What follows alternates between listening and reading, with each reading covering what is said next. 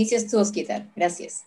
Sí, eh, bueno, antes que nada, las gracias a la Sociedad Científica de Estudiantes de Medicina Potosí, Bolivia. Sí, desde, ¿Cómo está el clima? ¿Cómo está el clima por allá? Friosito, se está adelantando el invierno. Ah, claro, sí, sí, sí. Bueno, acá también está, bueno, acá estamos en Lima, transmitiendo directamente, Carmen y yo pertenecemos a Primal Languages Latam. Eh, somos una empresa dedicada a todo lo que es poner a disposición herramientas en línea para eh, inglés, para idiomas, para propósitos específicos. Este, entonces lo que vamos a hacer conjuntamente con Carmen, que bueno, nos, entendemos muy bien en ese sentido, es este, poder este, hacer una rápida revisión de cómo se presenta un poco el tema del inglés para medicina, ¿no? Para trabajadores de salud o estudiantes también, ¿no? ¿Ya? Carmencita. ¿Qué tal? Buenas tardes a todos, ¿cómo están? Eh, como dijo aquí Osquitar, vamos a presentar nuestro programa de inglés con, con indicado para profesores, eh, para médicos, disculpen, soy profesora y para cuando termino de profesor, también soy profesora de inglés. Eh, un tema muy interesante y necesario en, en estas épocas porque recuerden que la mejor información y actual viene en inglés y es necesario para todo el área médica en estos momentos. ¿Algo más que agregar, quitar? Sí, que justo voy a poner en el chat, de, en el, cuadro de comunicación del chat, voy a colocar este, el, eh, el Instagram, la dirección del Instagram para que puedan ver el alcance que tenemos en, en, cuanto a naciones y a países de la región se refiere. ¿Ya? Este, justo voy a colocar aquí en el, en el chat de, en el cuadro del chat estoy colocando aquí yo lo repito a YouTube Instagram, Instagram con Primal Languages ahí pueden ver por ejemplo cómo nos manejamos ¿Cómo nos perdón un ratito? Que voy a, se me ha salido la batería un ratito. No hay problema. Sí, como estaba diciendo eh, Osquitar, eh, nos pueden seguir en Instagram, ¿no? Eh, ahí pueden enterarse de todas las novedades, tips y otras curiosidades eh, relacionadas al idioma y relacionado a nuestra entidad, nuestro instituto, Primal Language Latam. ¿Por qué Latam? Porque está dirigido a todo Ah, país de habla hispana. Okay. También durante la presentación eh, ofrecemos demo class gratuitas. Entonces le vamos, a, le vamos a compartir un link de un formulario para que se inscriban y nos pasen sus datos, su información para poder contactarlos y hacerlos partícipe de demo class gratuitas. Quiere decir que va a poder tener la experiencia real de nuestras clases del programa de inglés médico para el área médica, valga la redundancia. ¿Sí? Osquitar, ¿estás aún ahí? ¿Algo pasó? Sí, a ver, les voy a compartir de una vez el link, ¿sí? Para que se vayan, se vayan inscribiendo. Las demo class son los martes y jueves, ¿sí? De a las 8 de la noche. Eh, tú, eh, tú, puedes inscribirte e indicar ahí en cuál nivel deseas participar, porque hay demo class para nivel básico y demo class para nivel intermedio. Entonces, de acuerdo a, a tu conocimiento de inglés, de repente todavía estás un poquito oxidado porque no lo usas mucho, no hay ningún inconveniente, ¿no? Te inscribes y te compartimos el link para que participes de la demo class gratuita. Y si a pesar del, del martes de haber participado en esta demo class gratuita todavía de repente no estás muy convencido, de repente te inscribiste para el nivel básico y te fue demasiado básico, o de repente te inscribiste para el nivel intermedio y como que te sentiste perdido, no te preocupes. La persona que te contactó le, le puedes solicitar participar en la otra demo class del día jueves para que puedas comparar en cuál nivel te sientes más cómodo. No hay ningún inconveniente, ¿sí? A ver, Osquitar. ¿Qué pasó? A ver. Ya. Ah, sí, ya está entrando. Sí, ya está entrando. ¿Ya? Por favor, inscríbanse. Ah, y esténse atentos porque hay una super promoción que va eh, ser viable hasta el 10 de mayo de este mes Así que atento, atento a la promoción, por favor. ¿Qué tal, Oscar? Tu micrófono está apagadito, Oscar. ¿Me escuchan? Sí, perfecto. Fuerte y claro, Oscar. disculpen que está, tuve un pequeño percance con la batería de la computadora. No hay problema, quitar. Comparte tu, tu, PPT, no hay ningún problema, quitar. ¿Puedes compartir el PPT, Carmencita? Ah, ok, perfecto. A ver, a ver, a ver, a ver, a ver. Un momentito, por favor. Eh, no puedo compartir, eh, Gabrielita, por favor. Mm, perfecto. Osvaldo, ¿me ayudas a hacer la configuración, por favor? ¿Perdón, disculpa? Mm, le decía a quién me está colaborando. Unos minutitos, por favor. No, un ratito. ¿Sí? Ok, gracias. A ver, sí, perfecto. Ahora sí lo puedo compartir. A ver. Un momento, por favor.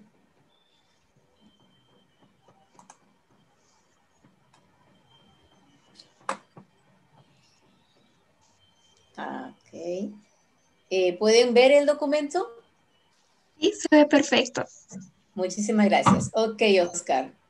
Bueno, les, voy, vamos a hablar del, programa especializado English for Doctors, eh, que es el producto principal de lo que manejamos. Tanto si ustedes ingresan a nuestras cuentas de, de Primal Languages en Instagram como a nuestra página web, que está siendo sometida a reconstrucción, por si acaso lo estamos como todo suele ocurrir en ese sentido, las páginas web tienen que ir un poco que maquillándose cada dos o tres años de acuerdo a las circunstancias y ahora nos ha tocado maquillar a la nuestra para poder ponerla más bonita. Bueno, acerca de nosotros, eh, Primal Languages es un centro de idiomas, básicamente una empresa que brinda servicios de especialización en capacitación en los idiomas inglés y portugués en la modalidad virtual. El curso del English eh, for Doctors ¿no? es, eh, se basa en el aprendizaje del idioma inglés tanto a nivel básico, intermedio y avanzado, enfocado en la terminología, vocabulario y práctica de situaciones típicas para médicos. Está dirigido prácticamente a todas las especialidades médicas y todos los niveles de inglés. Con él se puede aprender inglés de una manera más orientada a necesidades del rubro de salud. Los beneficios del programa para los alumnos eh, están eh, centrados de la siguiente manera. ¿no? Por ejemplo, el programa los ayuda a entender la literatura científica escrita en inglés y actualizar su práctica clínica.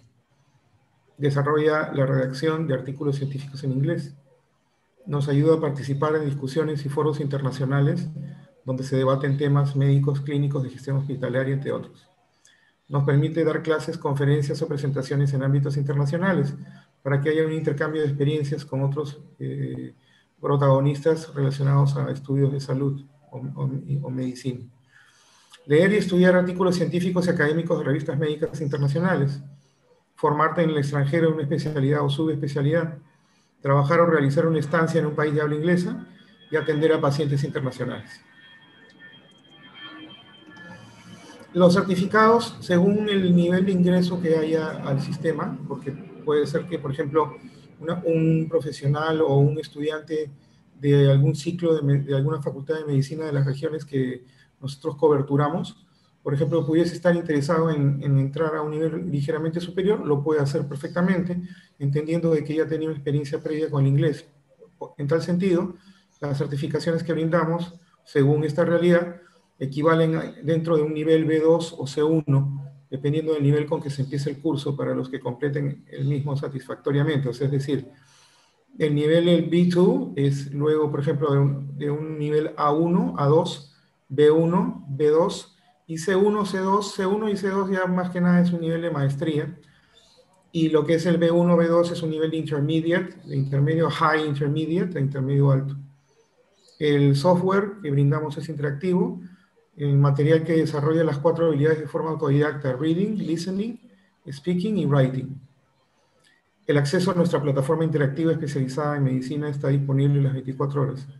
En la misma se ubican los ejercicios de speaking, listening, reading, writing, ¿no? lo que es producción eh, oral, comprensión auditiva, eh, comprensión lectora y producción de redacción y, escritura, entre otros. La metodología que utilizamos es Comprehensible Input, o sea, es enseñar todo bajo un sistema eminentemente comunicativo, pero brindando todas las pautas para que el aprendizaje de la gramática sea inductivo. O sea, sin que esto suponga verdaderamente un problema para aquel que no se lleva bien con la gramática, por ejemplo, ¿no? puede ser que alguien sea un, alguien que se acomoda rápidamente a la parte idiomática por la exposición comunicativa entre la práctica, repetición, los drills de repetición y de constante práctica nos llevan a que el alumno pueda romper esa barrera, pero a la hora de entrar a gramática como que a veces se asusta uno, pero sin embargo un enfoque gramatical es bastante amigable y está contenido permanentemente dentro de las mismas clases a fin de aclarar dudas. El material que se utiliza, por ejemplo, para los juegos de rol, que es una manera de explotar este tema comunicativamente, los role plays, ha sido diseñado por una entidad que se llama ALTA, que se, que se utiliza en Estados Unidos para situaciones de atención médica. Ahora dentro de un rato vamos a ver un caso. Estas clases se, se desarrollan bajo la modalidad de juegos de rol, o sea, dentro de lo que es la simulación de atención real a pacientes. Las clases virtuales de contenido, correcto, eh, son, clases, son apoyadas por clases en vivo desde cualquier lugar con acceso a una plataforma de enseñanza virtual a través de, una, de la disponibilidad de tres profesores, por lo general, que son los que atienden los casos. Carmencita se va a explayar un poquito más en el tema de los, de los three teachers, de los tres profesores.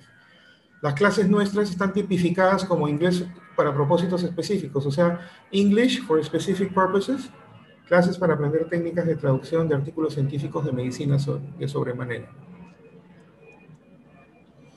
Además, fuera de la asistencia remota virtual, el curso se considera que es 100% virtual.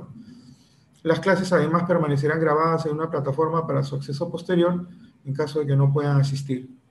Los tutores asignados están disponibles para resolver dudas o preguntas durante toda la duración del curso. Carmencita, ¿podrías explicarle lo de los tutores? Por supuesto, Oscar. Eh, como han escuchado, sí, es cierto, eh, contamos con tres tutores por grupo. ¿Por qué? Porque si empiezas el nivel básico, entonces no conoces muy bien el inglés. Entonces vas a llevar el inglés regular más el inglés médico. Entonces, con un tutor llevas la parte del inglés regular, con otro tutor llevas la parte del inglés médico y los fines de semana vas a llevar las prácticas con otro profesor y en este caso es un nativo.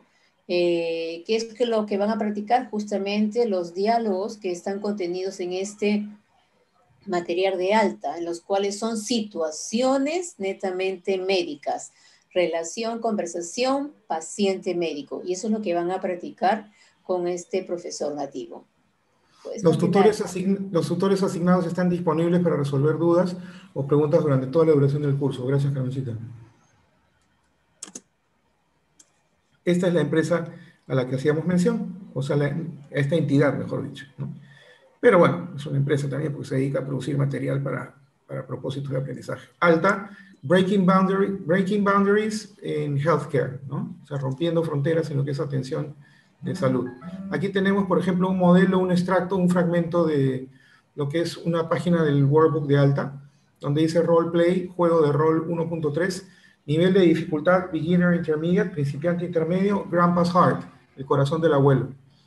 Grandpa W viene a emergencia, llega a la sala de emergencia la última noche su pecho le dolía, así que no podía respirar. Grandpa W is now at the ER, está en la zona de ER de emergencias, and has been attached to an EKG monitor, ha sido, eh, digamos, conectado a un electrocardiógrafo.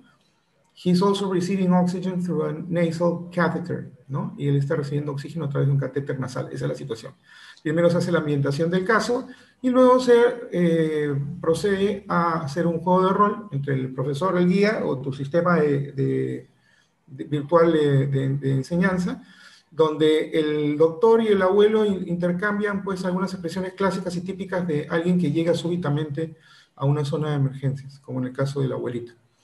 El abuelito está preocupado, obviamente, el doctor le da algunas, algunos tips iniciales, le dice cómo es parte del procedimiento, del triaje, ¿no? Y eh, bueno, empiezan a conversar sobre la posibilidad de tomar una muestra de sangre, que dice justamente blood sample, that's wonderful, dice doctor, grandpa, doctor, grandpa, doctor, en ese intercambio. El doctor agarra, le dice, enviaré a la enfermera pronto para que le obtenga, le saque una muestra de sangre, una toma de sangre. Veamos el siguiente cuadro, por favor. Why do you need to, why do you need to look at my blood? O sea, ¿por qué necesita echar un vistazo a mi sangre? The blood test will tell us if you had a heart attack. El examen de sangre nos indicará si es que usted tuvo o ha tenido un, ataque, un ataque al corazón, ¿no? O un, un preinfarto, un infarto. We may need to repeat some tests every six hours to rule that out. Necesitaremos repetir la, el, el, proceso, los exámenes cada seis horas para che chequear y dejar bien constatado esto. Y así eh, discurre la conversación. Eh, por ejemplo, any pain in your arms and shoulders, algún dolor en sus brazos o u, u hombros. No, just my heart beating too fast. No, solamente mi corazón, mi corazón latiendo demasiado rápido, ¿no? Acá hay una especie de taquicardia, un, este, un cuadro taquicárdico, ¿no? Entonces el doctor le dice, ay, sí, ¿no? ¿Podrías retroceder, Carmen, por favor, la anterior, la anterior Sorry, sorry, diapositiva? sorry, sorry. Eh, This one. Eh, I see, we will take good care of you, nosotros cuidaremos bien de usted. A nurse will come soon to do an EKG, ¿no? La enfermera, la enfermera lo someterá a un electrocardiograma and we will continue monitoring your blood pressure. Continuaremos monitoreando su presión de sanguínea. ¿Qué más? Eh, bueno, el doctor le advierte al paciente que está todo nervioso que un EKG no duele, ¿no? Es una cosa totalmente ambulatoria e indolora, ¿no? Y nos puede decir también si es que usted ha tenido un ataque al corazón, ¿no? Y el abuelo dice, bueno, que me, siento satisfecho de saber que no duele. I'm glad it doesn't hurt, ¿no? El pobre abuelito está todo nervioso, pues en medio de todo el fragor de lo que es una intervención de una sala de emergencias. Ajá. Next. Luego se ponen a hablar de las variables diastólicas y sistólicas, ¿no? ¿Cuáles son las variables homeostáticas, digamos, de lo que es la presión? ¿No? ¿Cuándo se considera pues una presión que no es homeostática y cuándo se considera que una presión diastólica y sistólica son homeostáticas? Y ahí se, se, se detalla el, la parte final del diálogo entre el abuelito asustado y el doctor, ¿no? el encargado de la sala de ER, de emergencias. El doctor, el doctor aconseja mucho descanso, ¿no? Dice, get some rest, Mr. W, señor W, w por favor, trate de descansar. Thank you, Dr. Smith. ¿no? Y así, este es un, más o menos uno de los contenidos del, cuadernillo de actividades de juegos de rol de alta. Aquí tenemos el primer módulo, que consta de 23 unidades. Eh, se considera eh, aprobado el módulo de 23 unidades cuando hay un 85% de eficacia en la respuesta de los contenidos de los ejercicios. ¿no? y las aplicaciones eh, pedagógicas que, que están este, ancladas, ancladas, asentadas en cada una de las unidades.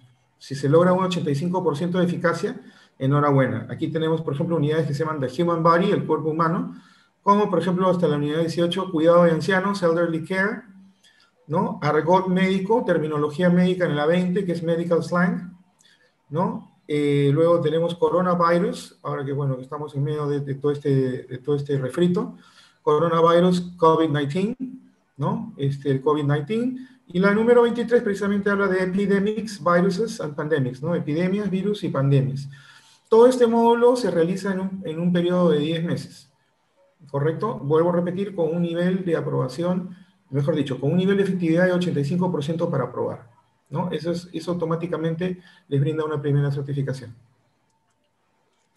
Luego pasamos a una segunda certificación, que ya es un nivel un poquito superior, donde hay cuatro anatomías, al más puro estilo de la nomenclatura universitaria, anatomía 1, 2, 3 y 4, donde tenemos eh, también cirugía 1 y cirugía 2, unidades 21 y 22, 21 y 22, síntomas 1, síntomas 2, síntomas 3 y síntomas 4, de la unidad 24 a la 27, to 27, Luego tenemos exámenes y tomografías y resonancias en la unidad, en la unidad 28.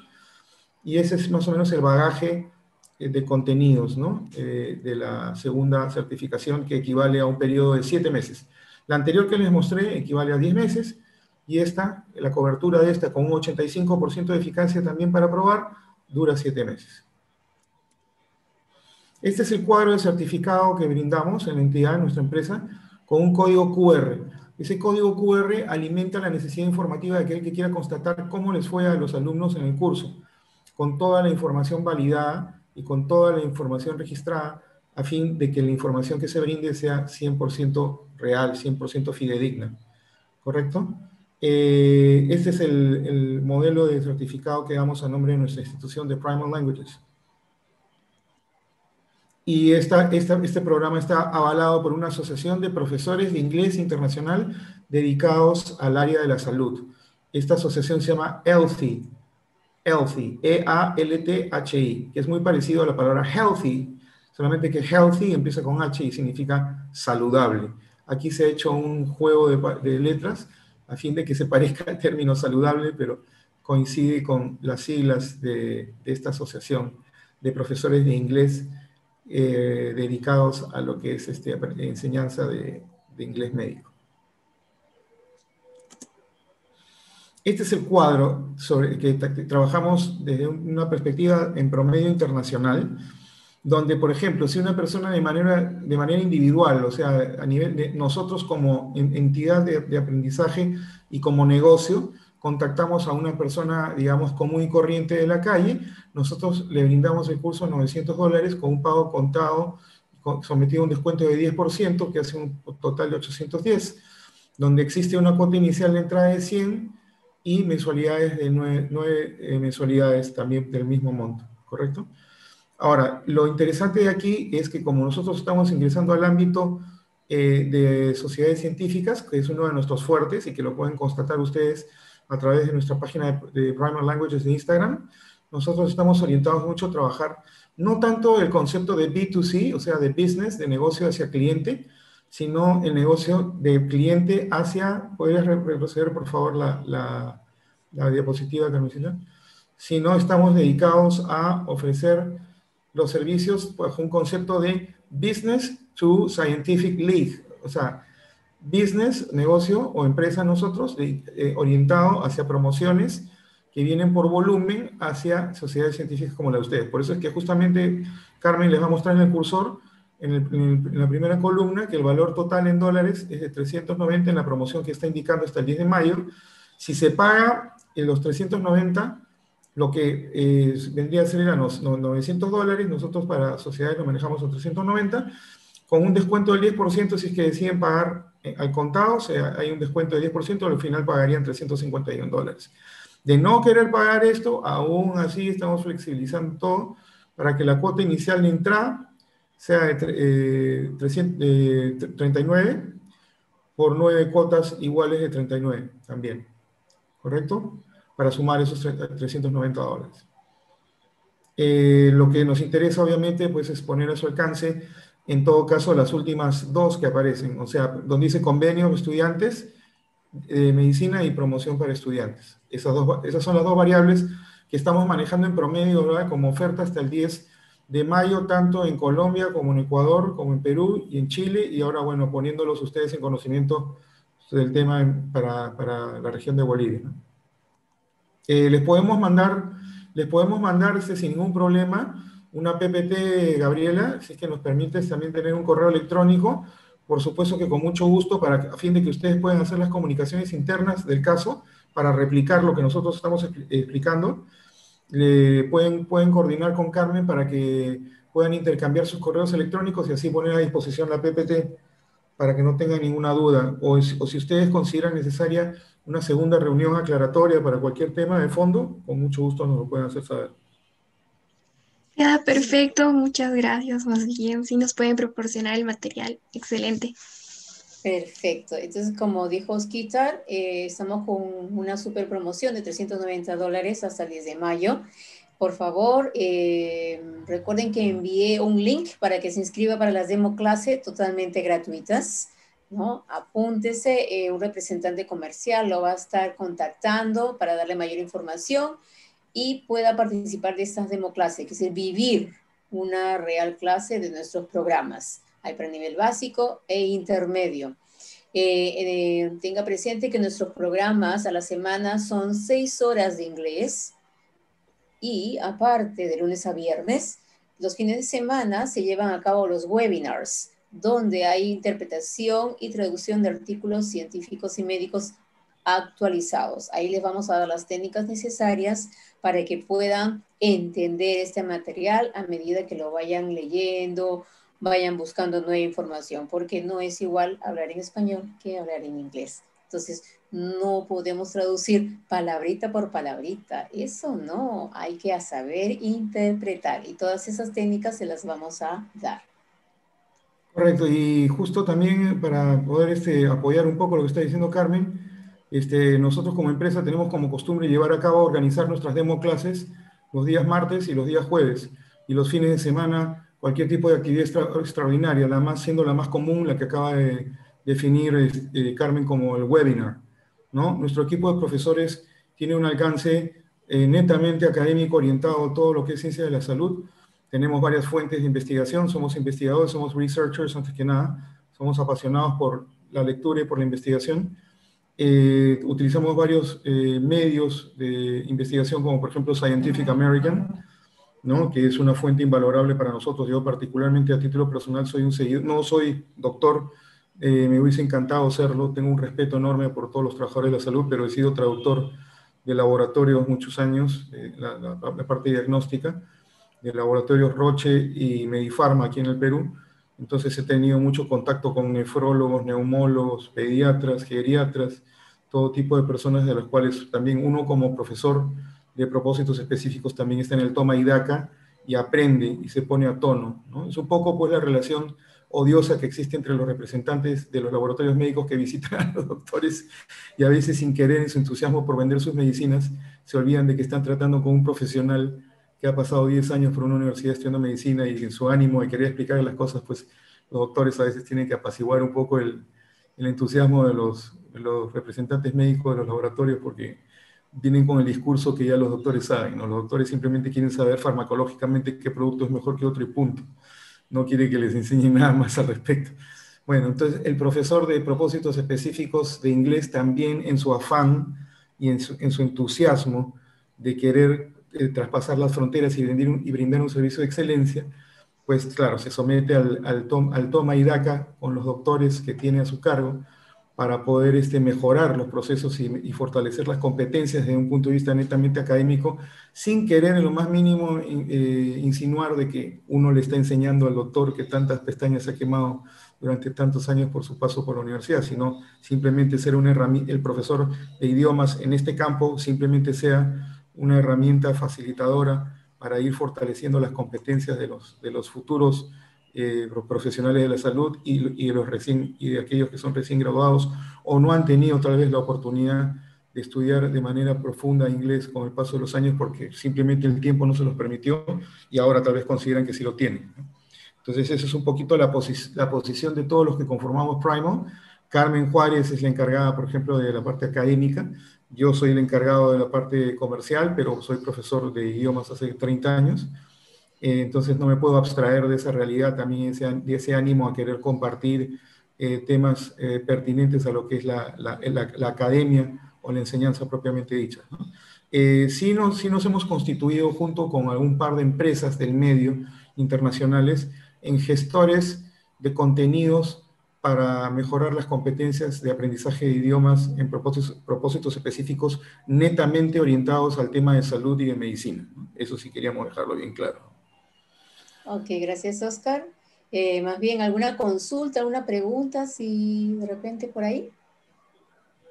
¿Todo quedó claro? Bueno, en tanto se va revisando si hay consultas, pues agradecerles mucho la intervención, por haber presentado cómo es que se va dando todo. Como bien lo mencionaba, es una herramienta a la actualidad de mucha, mucha relevancia para todos tanto en la formación médica como ya después dentro de la profesión misma. Así que muy feliz. Eh, la verdad, eh, quizás en esta oportunidad pues haya mucha más audiencia que eh, los está viendo desde Bolivia. Entonces, de verdad, muchas gracias por, por todo lo que nos han brindado, toda la información. Esperamos mantener el contacto y pues poder acceder también a los servicios que nos han expuesto. De momento, no hay ni una consulta, pues seguro van a surgir y van a llegar evidentemente. Muchísimas gracias. Ok, muchísimas, gracias. Gracias, este, Gabriela. Un gran saludo a todo Bolivia, en nombre de Carmen y en nombre mío. Así es. Cualquier duda se inscriben también, porque ahí terminas a resolver sus dudas, ¿sí? Yo ya me apunto, ya. Igual por parte de de también de las otras sociedades científicas organizadoras de este curso, pues es Asocem UCE, Asocem Ucuenca y Asocem Uni Núñez y Asocem UATF, Bolivia, Ecuador y Colombia, pues nuestro agradecimiento para ustedes. Hasta otra oportunidad. Muchas gracias. Al final, si pueden compartir correos para poder mandarles la información de fondo, también sería importante. Sí, por favor, si me lo pueden dejar y entonces yo lo remito y también adjuntamos los correos. Correcto. muchísimas gracias. Buen día. bye bye. Hasta luego. Bye bye.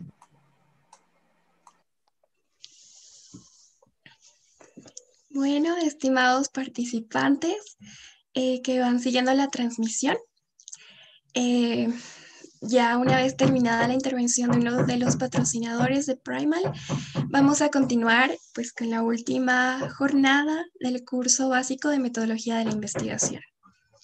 Eh, bueno, esta actividad conjunta, tanto con eh, amigas de Colombia y Ecuador, que se ha ido llevando a cabo desde el día viernes, finaliza hoy. Entonces vamos a presentar al ponente para el día de, de hoy. La temática que se va a tocar es el uso básico de Excel y SPSS. Eh, va a estar a cargo del licenciado Wilfredo Michel Hinojosa. Él es licenciado en informática.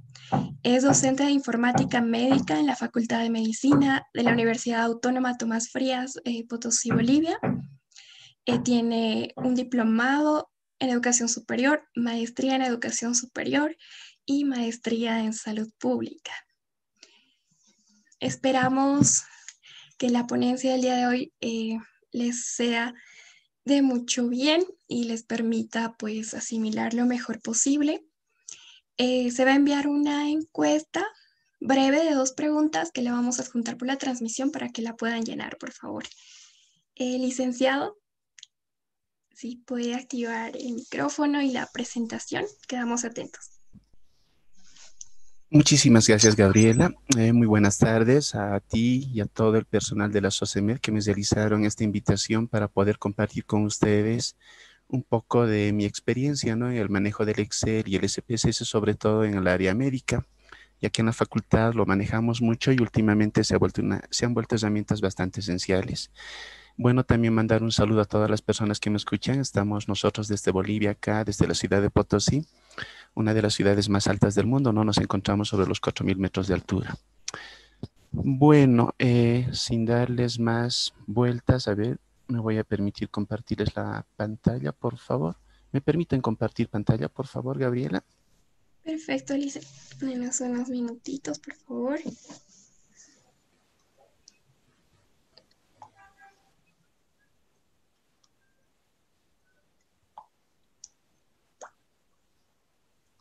Licenciado ya puede compartir pantalla. Perfecto, muchas gracias.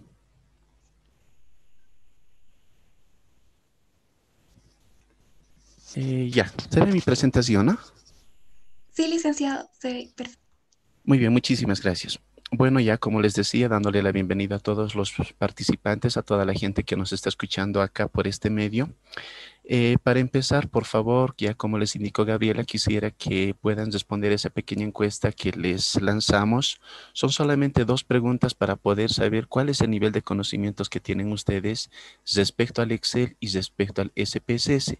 ¿Para qué? Para poder ver si vamos a tocar conceptos muy, muy profundos o solamente conceptos bastante básicos. Entonces, es una pequeña encuesta que es totalmente anónima, por supuesto, y les rogaría que vayan respondiéndola mientras damos una pequeña introducción a esto que es bastante importante para toda la gente del área de salud, el manejo del Excel y el SPSS aplicado al área de la salud.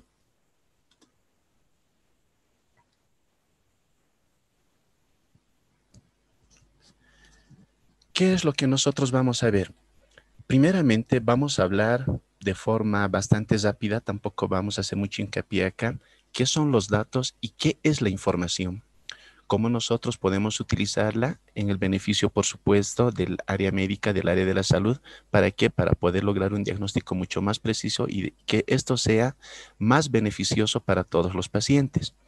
También vamos a ver nosotros algo de lo que es Excel, Excel aplicado exactamente aplicado al área de la salud y también el SPSS, que es una herramienta estadística que se le está utilizando mucho en el análisis de datos del área social y en este caso del área de la salud. Entonces, primeramente comenzamos hablando de qué son los datos y qué es la información. Los datos los manejamos día a día. Aunque no lo crean, en todo momento nosotros estamos siendo bombardeados de datos.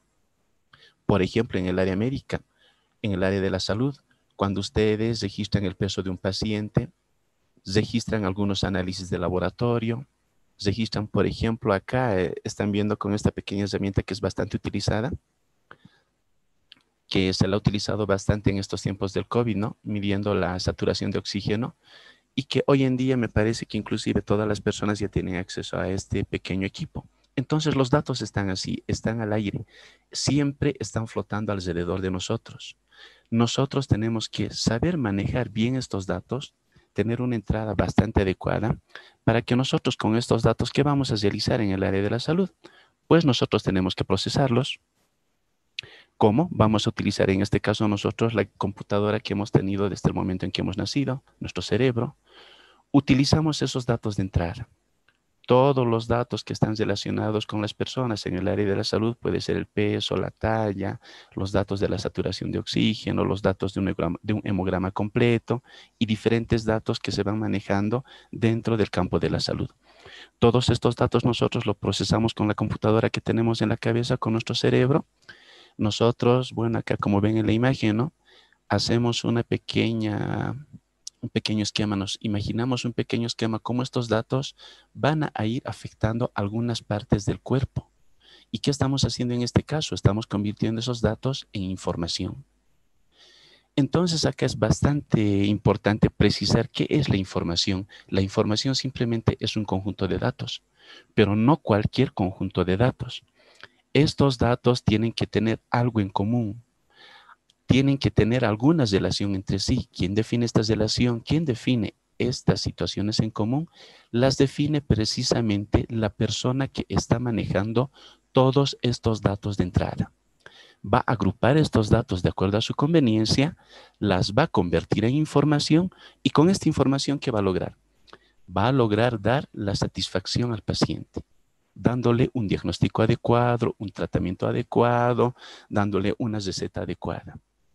Entonces, de esta forma nosotros manejamos la información. Pero para que nosotros tengamos la información, nosotros necesariamente necesitamos empezar con los datos. Los datos, bueno, si, vale el término decirlo, es la clave del éxito. Si nosotros no, no sabemos manejar adecuadamente estos datos que tenemos a la entrada, pues difícilmente vamos a poder formar la información y por supuesto que la salida de la información de, del proceso del análisis que nosotros vamos a realizar va a ser defectuosa. ¿Y esto en qué se traduce? En diagnósticos malos, tratamientos malos y por supuesto, ¿quién es el más afectado? Pues por supuesto que el paciente, ¿verdad? Y por supuesto, pues, ya lo dijo este señor, John Naisbitt. Miren, la nueva fuente de poder no es el dinero en manos de pocos, sino la información en manos de muchos. Hoy en día, como ustedes le saben, estamos viviendo en un mundo de ceros y unos, en un mundo digital.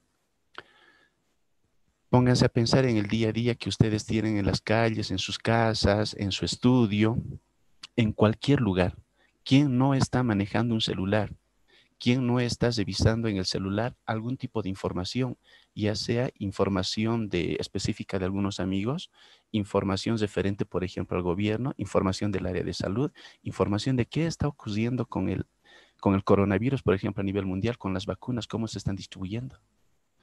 Si nosotros no sabemos manejar esta información, no sabemos manejar estos datos que nos están rodeando, que nos están que están abundando a nuestro alrededor, que están por todos lados, si nosotros no manejamos estos datos, no la convertimos en información, pues por supuesto que vamos a estar perdidos en este nuevo mundo digital que se está abriendo a nuestros pies. Y ya con el coronavirus o gracias al coronavirus, pues todos los países de tercermundistas, como así nos llaman, hemos dado un gran paso en qué? En el uso de las nuevas tecnologías de información. De esta forma nosotros le estamos dando, sí, lo que han hecho países, ya, si, si van entre comillas decir países un poco más adelantados, que manejaban la tecnología en el diario de sus actividades, pero nosotros no le dábamos mucha importancia. Nosotros, ¿qué hacíamos? Teníamos un poco de miedo, todavía nosotros no queríamos dar ese gran salto. ¿Para qué? Para poder utilizar la tecnología en el día a día. Pero bueno, como les digo, el coronavirus, bueno, en este aspecto, nos ha enseñado a nosotros que sí, que tenemos que dar este salto que nos estaba dejando bastante atrás, bastantes rezagados en cuanto a países, en cuanto a personas, en cuanto a niños, estudiantes, profesionales, gente del diario vivir, del diario común, que ya manejaba estas tecnologías como parte de su diario vivir. Pues nosotros entonces ahora ya estamos manejando estas tecnologías. Y nuevamente les digo, la información es la clave, es la fuente de poder de las nuevas personas que a futuro van a ser las personas que van a, entre comillas también les digo, van a dominar el mundo. La información entonces es lo más importante en todas las áreas del saber, en todas las áreas de la ciencia. Y el área de la salud, por supuesto que no se queda al margen. En el área de la salud es mucho más importante contar con información actualizada, es mucho más importante saber manejar esa información, saber manejar esos datos. Pero por supuesto, no lo vamos a manejar nosotros solamente con nuestra cabeza, porque hoy en día lamentablemente los datos son bastante grandes. Son datos que tenemos, en cuestión de segundos se, se están actualizando la cantidad de datos que nos están llegando. Para nuestra cabeza y el procesamiento se hace un poco mucho más complejo. Nos vamos a demorar más. Pues entonces, ¿qué vamos a hacer nosotros? ¿Y qué es lo que debemos hacer? Pues nosotros vamos a digitalizar estos datos y vamos a utilizar algunas aplicaciones algunas aplicaciones que ya han sido diseñadas, las cuales nos van a permitir a nosotros manejar estos datos de forma mucho más fácil, mucho más rápida y por supuesto mucho más precisa. En cuanto al software de apoyo que me permito mencionar, miren, tenemos aplicaciones como el MATLAB, Minitab, EpiInfo, Stata, SPSS que lo vamos a ver hoy y el Excel que también lo vamos a ver hoy. No quiere decir que estas sean las únicas aplicaciones que han sido diseñadas para poder manejar los datos y convertirlas en información. No, hay muchas más aplicaciones, dependiendo del área del campo donde se estén manejando estos datos. En el área de la salud, normalmente se utiliza el EpiInfo, que es una herramienta ya inclusive validada por la OMS. Eh, se utiliza también, por supuesto, el SPSS para hacer análisis estadístico y, por supuesto, Excel que el Excel, al ser una herramienta que inclusive nos permite a nosotros realizar programación dentro de esta, dentro de esta herramienta, dentro de este software, nosotros podemos hacer cosas bastante grandes. Por supuesto que para eso nosotros requerimos de qué? Requerimos de conocimientos bastante avanzados en cuanto a programación para poder generar cosas grandes. Pero también manejando el Excel de forma bastante básica, hoy vamos a ver que podemos realizar algunas cosas que son bastante utilizadas dentro del área de la salud, dentro del área de la epidemiología, del área de la salud pública. Y justamente es eso lo que vamos a ver. Miren, ¿qué es lo que vamos a ver en el, en el Excel? Vamos a ver nosotros cómo elaborar una pirámide poblacional y cómo generar un canal endémico. Solamente con estos dos conceptos vamos a tocar diferentes cosas dentro del Excel. Desde crear una, desde realizar una suma con una función, sumar dos celdas, vamos a definir qué es una celda absoluta, qué es una celda relativa, cómo nosotros crear un gráfico, cómo darnos, cómo personalizar nuestro gráfico, cómo utilizar algunas funciones avanzadas de Excel y demás. Entonces, estos dos ejemplos a nosotros dentro del Excel nos va a permitir realizar justamente todo eso que acabo de mencionarles. A ver, en este caso me voy a la pantalla de Excel. A ver, un momentito, ya enseguida les comparto la pantalla de Excel.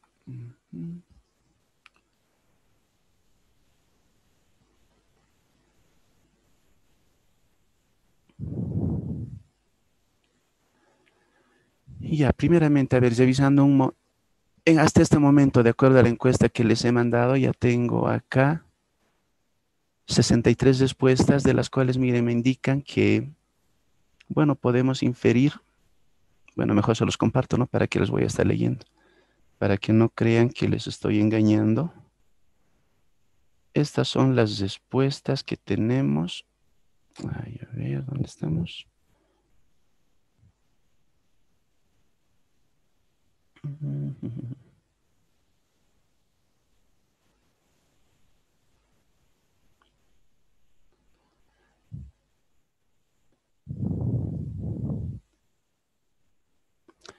Y aquí tenemos, por ejemplo, fíjense en pantalla, es lo que ustedes ya han respondido hasta este momento. Y bueno, algunos siguen respondiendo, ¿no? Ya ha subido a 66 la cantidad de respuestas.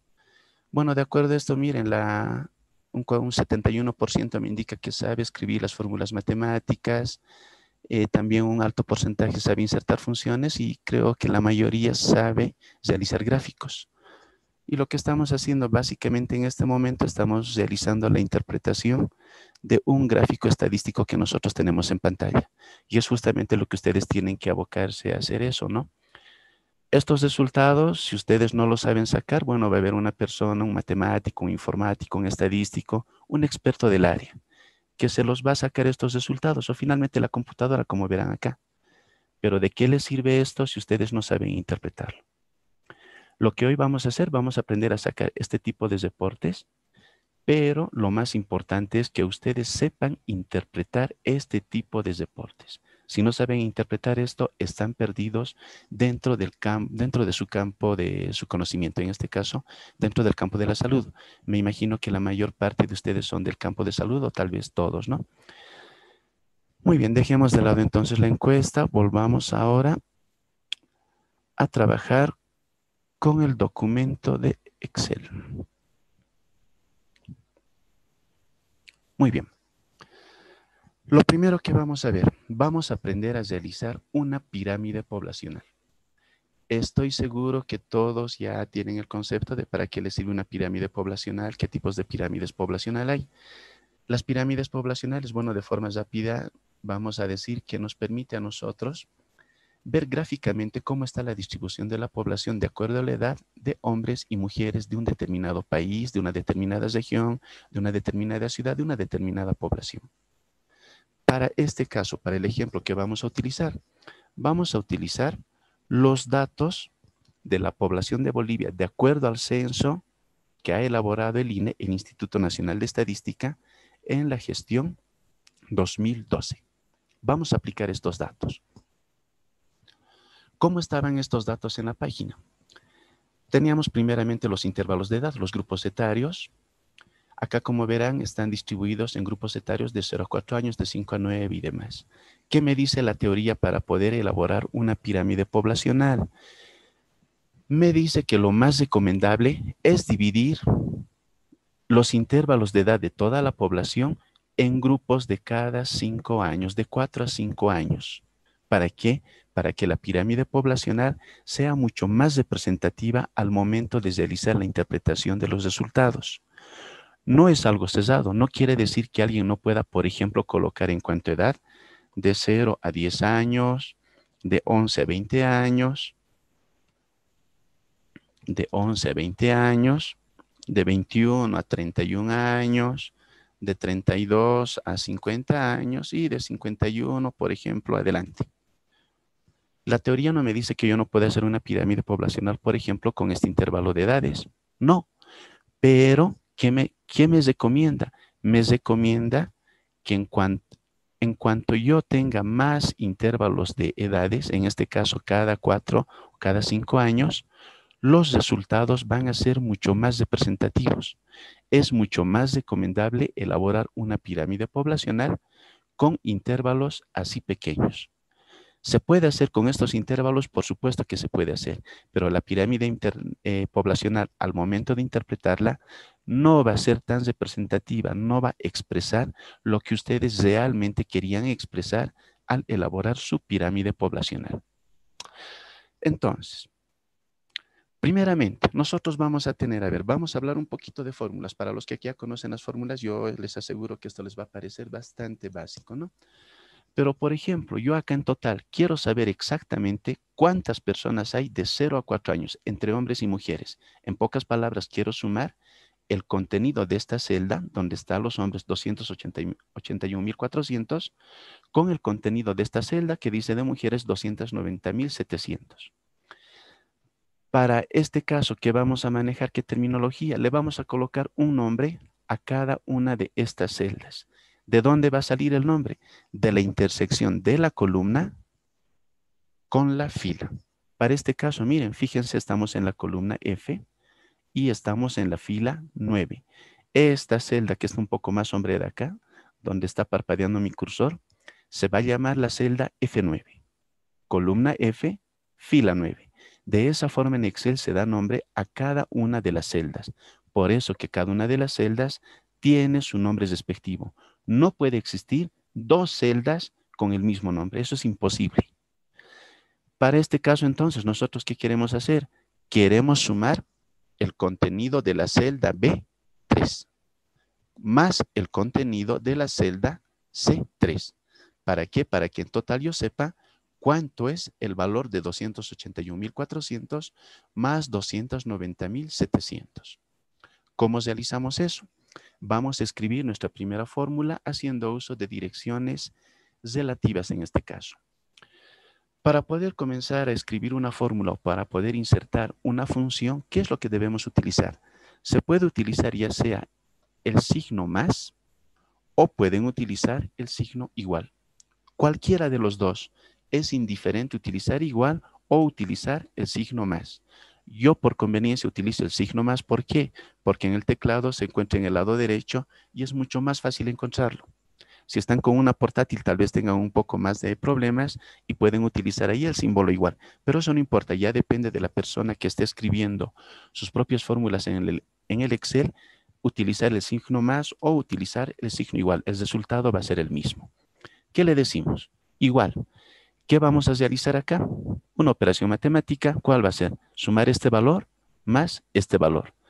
Entonces, colocamos igual y con el mouse yo le voy a decir, yo voy a hacer un clic acá en la celda B3 y vean, se ha remarcado esta celda.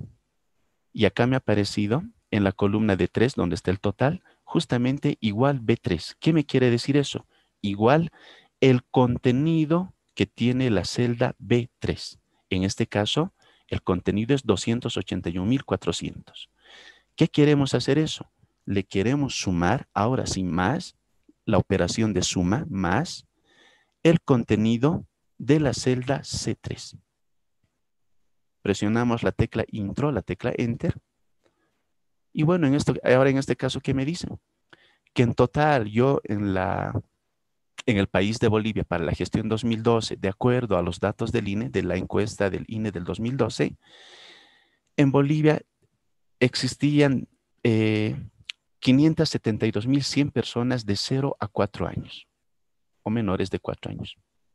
Miren, entonces de esa forma nosotros ya tenemos un nuevo valor que nos permite ser interpretado de acuerdo a la variable edad, en este caso el total con la variable edad, nosotros ya podemos realizar una interpretación.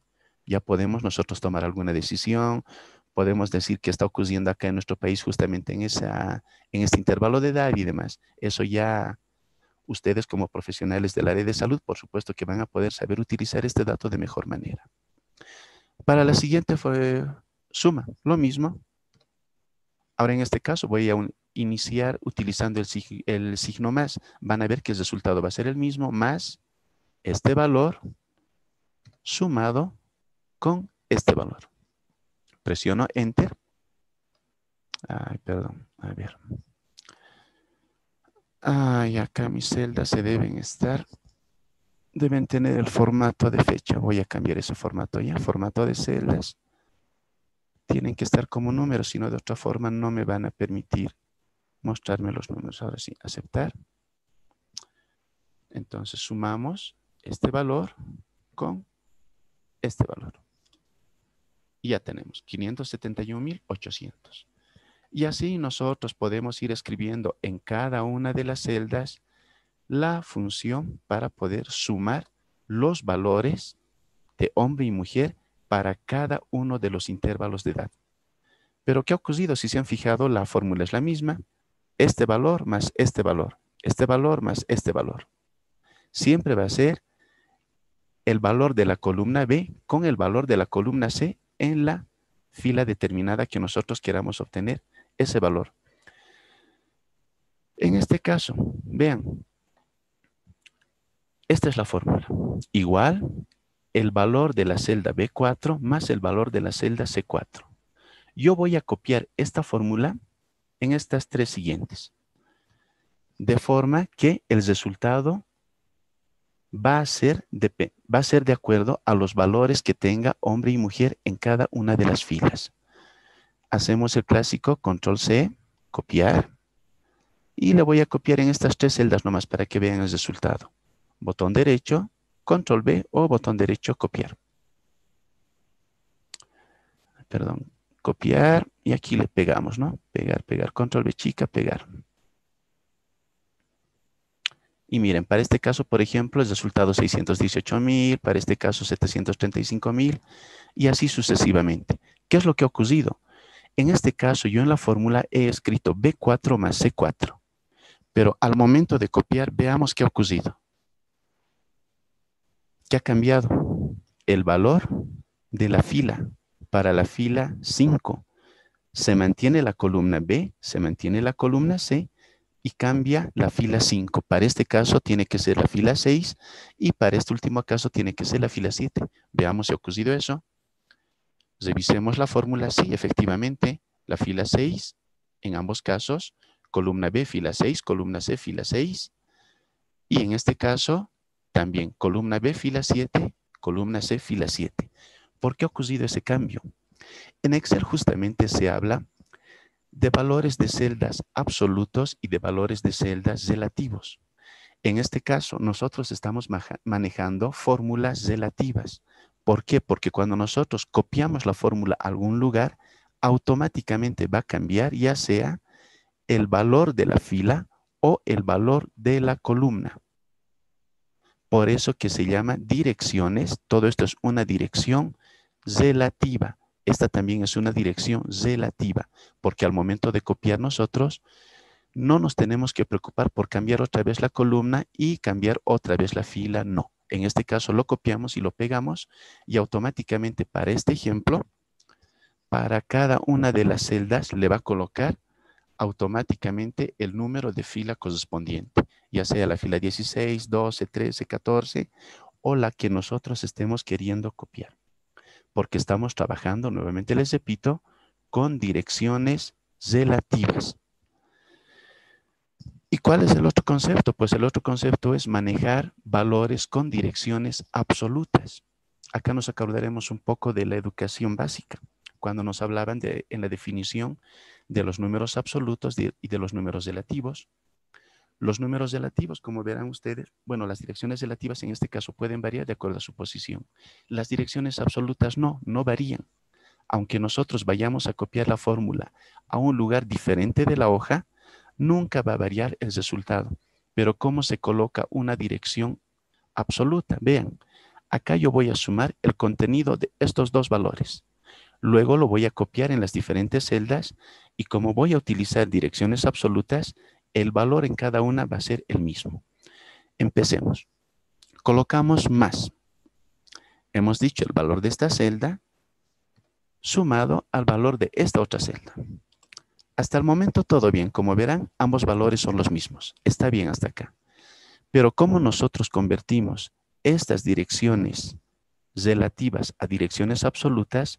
Vamos a hacer uso del símbolo de peso de la, del teclado. En este caso, este símbolo. ¿Qué quiere decir esto? Que aunque nosotros vayamos a realizar la copia de esta fórmula, siempre en cualquier lugar de la hoja se va a referir a estas dos celdas. B4 y la celda C4.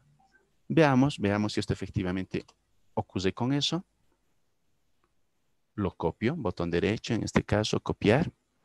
Lo voy a pegar acá como hemos hecho en el anterior ejemplo. Botón derecho, pegar. Y fíjense, no ha ocurrido lo mismo que ha ocurrido en el anterior caso.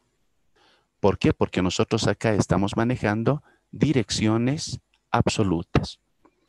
Y bueno, solamente eso para hablar ¿no? de las direcciones absolutas. Las direcciones absolutas me permiten a mí trabajar cuando nosotros colocamos el signo de peso antes de la columna y antes de la fila.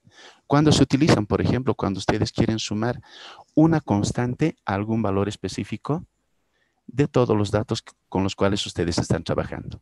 ¿Ya? En este caso, entonces, bueno, de esa forma podemos trabajar con direcciones absolutas y con direcciones relativas.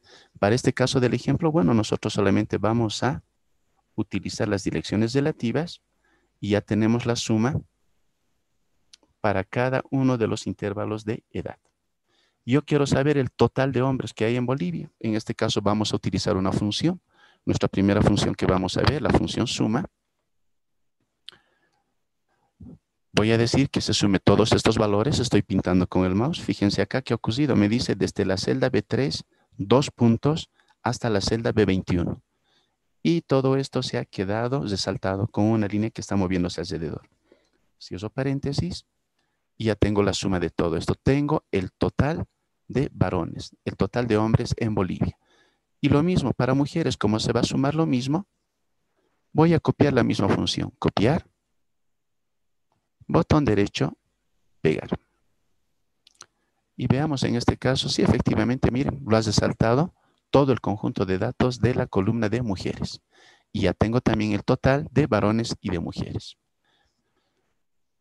De esa forma entonces nosotros hemos aprendido aquí a escribir nuestras propias fórmulas, una simple suma, o a utilizar una función para poder realizar una suma en este caso, haciendo que uso del símbolo igual o del signo más para poder comenzar a escribir la fórmula o para poder insertar la función. Bueno, ahora continuemos con el ejemplo de que de poder sacar en este caso la pirámide poblacional. ¿Qué me pide la pirámide poblacional? Primeramente me pide los intervalos de todas las edades. ¿Qué más me pide? Los datos de las mujeres, de cuántas mujeres hay para cada uno de los intervalos. Y lo más importante, me pide los datos de los varones. Pero los datos no tienen que ser tal cual están acá, sino tienen que ser en, un número negativo tienen que estar el mismo valor, pero convertido a un valor negativo. ¿Para qué? Para que estos valores se grafiquen en el lado izquierdo de la pirámide, mientras que estos datos, como van a ser positivos, se grafiquen en el lado derecho de la pirámide. Entonces, lo que tenemos que hacer primero es convertir estos valores a números negativos. Y vamos a hacerlo entonces de esa forma. Acá me voy a crear otra columna que se llame también otra vez hombre vamos a aplicar una función nosotros para qué, o una fórmula, una simple fórmula para convertir cada uno de estos valores a negativo. ¿Y qué me han dicho en colegio a mí? ¿Qué me han dicho en la secundaria? Que yo puedo multiplicar este valor por menos 1, ¿para qué? Para que tenga el mismo valor con signo negativo. Vamos a copiar esta, esta fórmula que acabamos de escribir y lo vamos a pegar en todo este rango de valores. Botón derecho, pegar.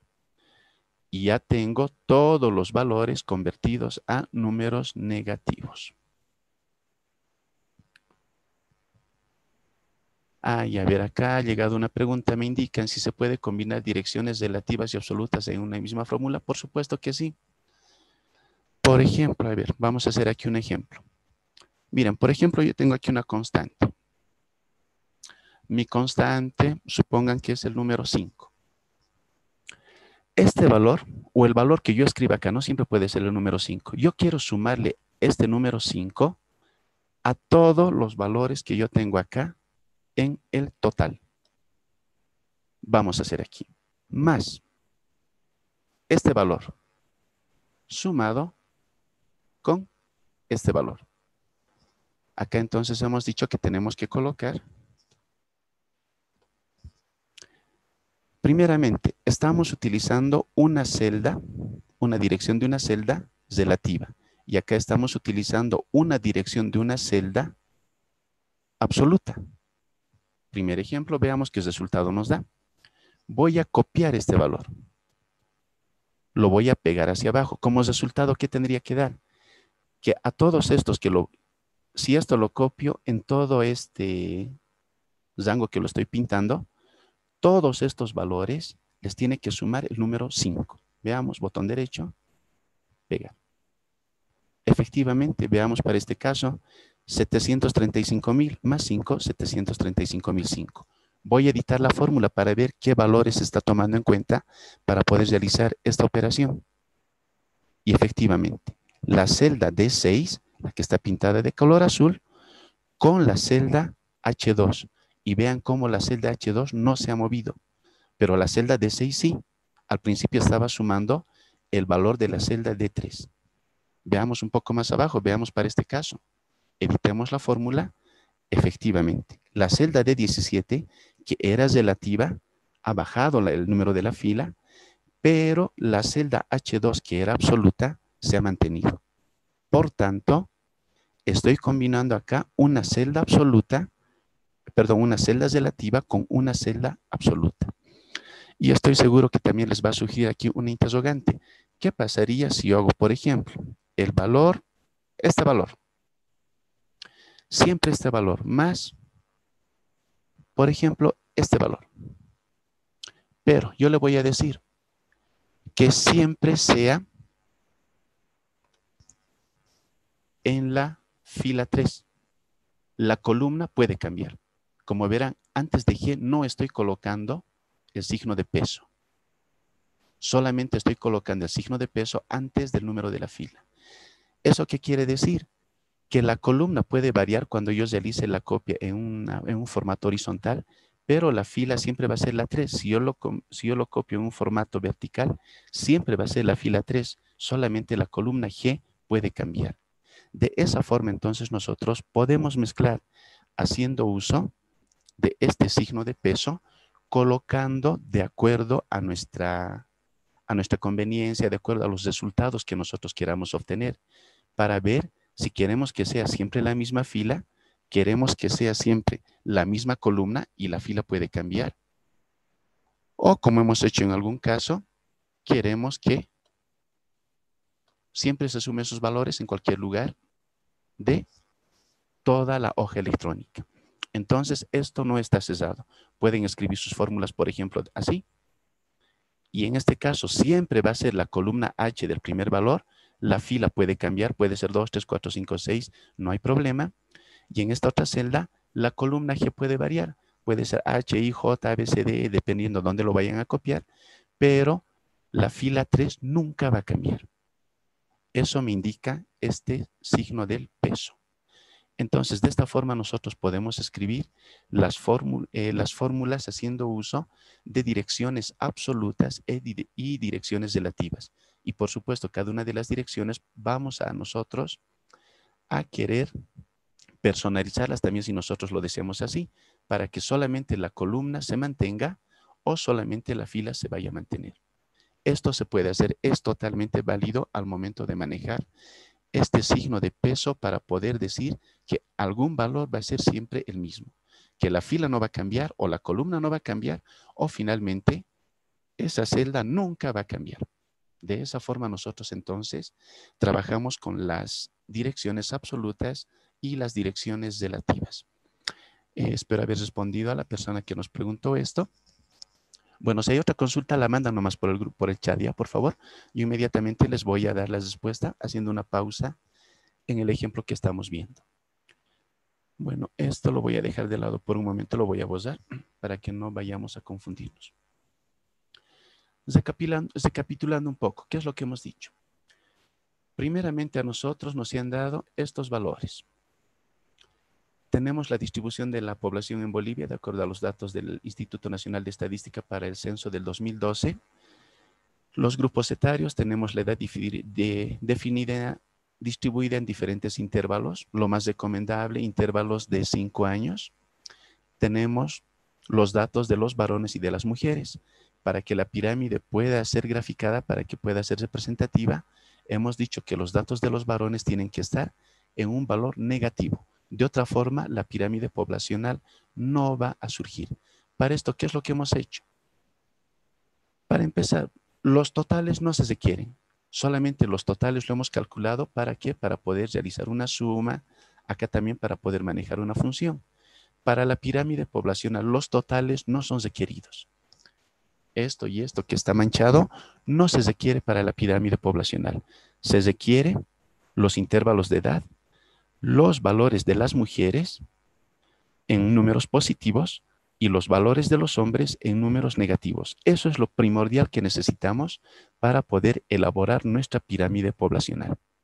Bueno, en este caso hagamos eso. Ya tenemos los datos, intervalos de edades, valores de las mujeres en positivo y valores de los varones en negativo. Pues ahora nosotros tenemos que seleccionar los datos para que nosotros podamos tener la población. Pero fíjense, estoy seleccionando edad. Selecciono mujeres y que macana se ha deseleccionado edad. Y peor todavía, si selecciono los varones en negativo, se despinta. Ya no está seleccionado. Si lo selecciono todo, y vean, veamos si nosotros queremos insertar un gráfico así, por supuesto que nos va a dar cualquier cosa menos lo que nosotros estuvimos esperando. En este caso, a ver, una base. Y miren, un gráfico que tiene diferentes cosas, se, se aproxima a una pirámide, pero tiene muchas variables que están siendo graficadas acá. En este caso solamente necesitamos intervalo de edad, valores de varones y valores de mujeres. Pero acá tenemos muchas bases más. Por tanto, este gráfico no nos sirve. Entonces, ¿cómo nosotros vamos a realizar esta selección que es personalizada? Vamos a nosotros aplicar, vamos a hacer uso de la tecla, mira acá se los colocaré, de la tecla control.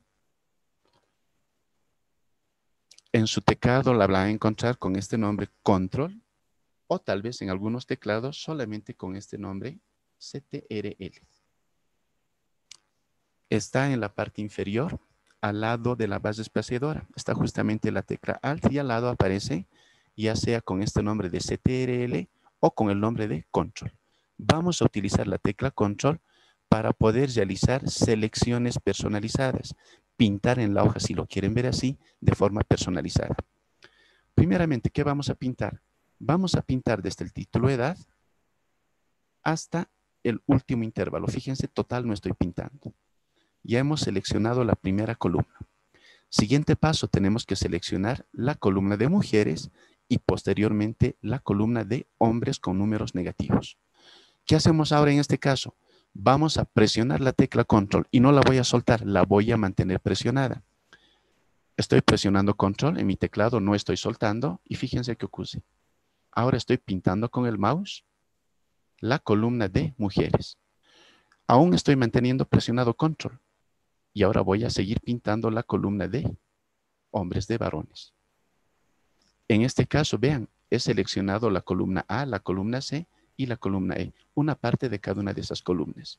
Una selección personalizada haciendo uso de la tecla control. Como ya no tengo que seleccionar nada más, he soltado la tecla control. Ya no estoy presionando la tecla control.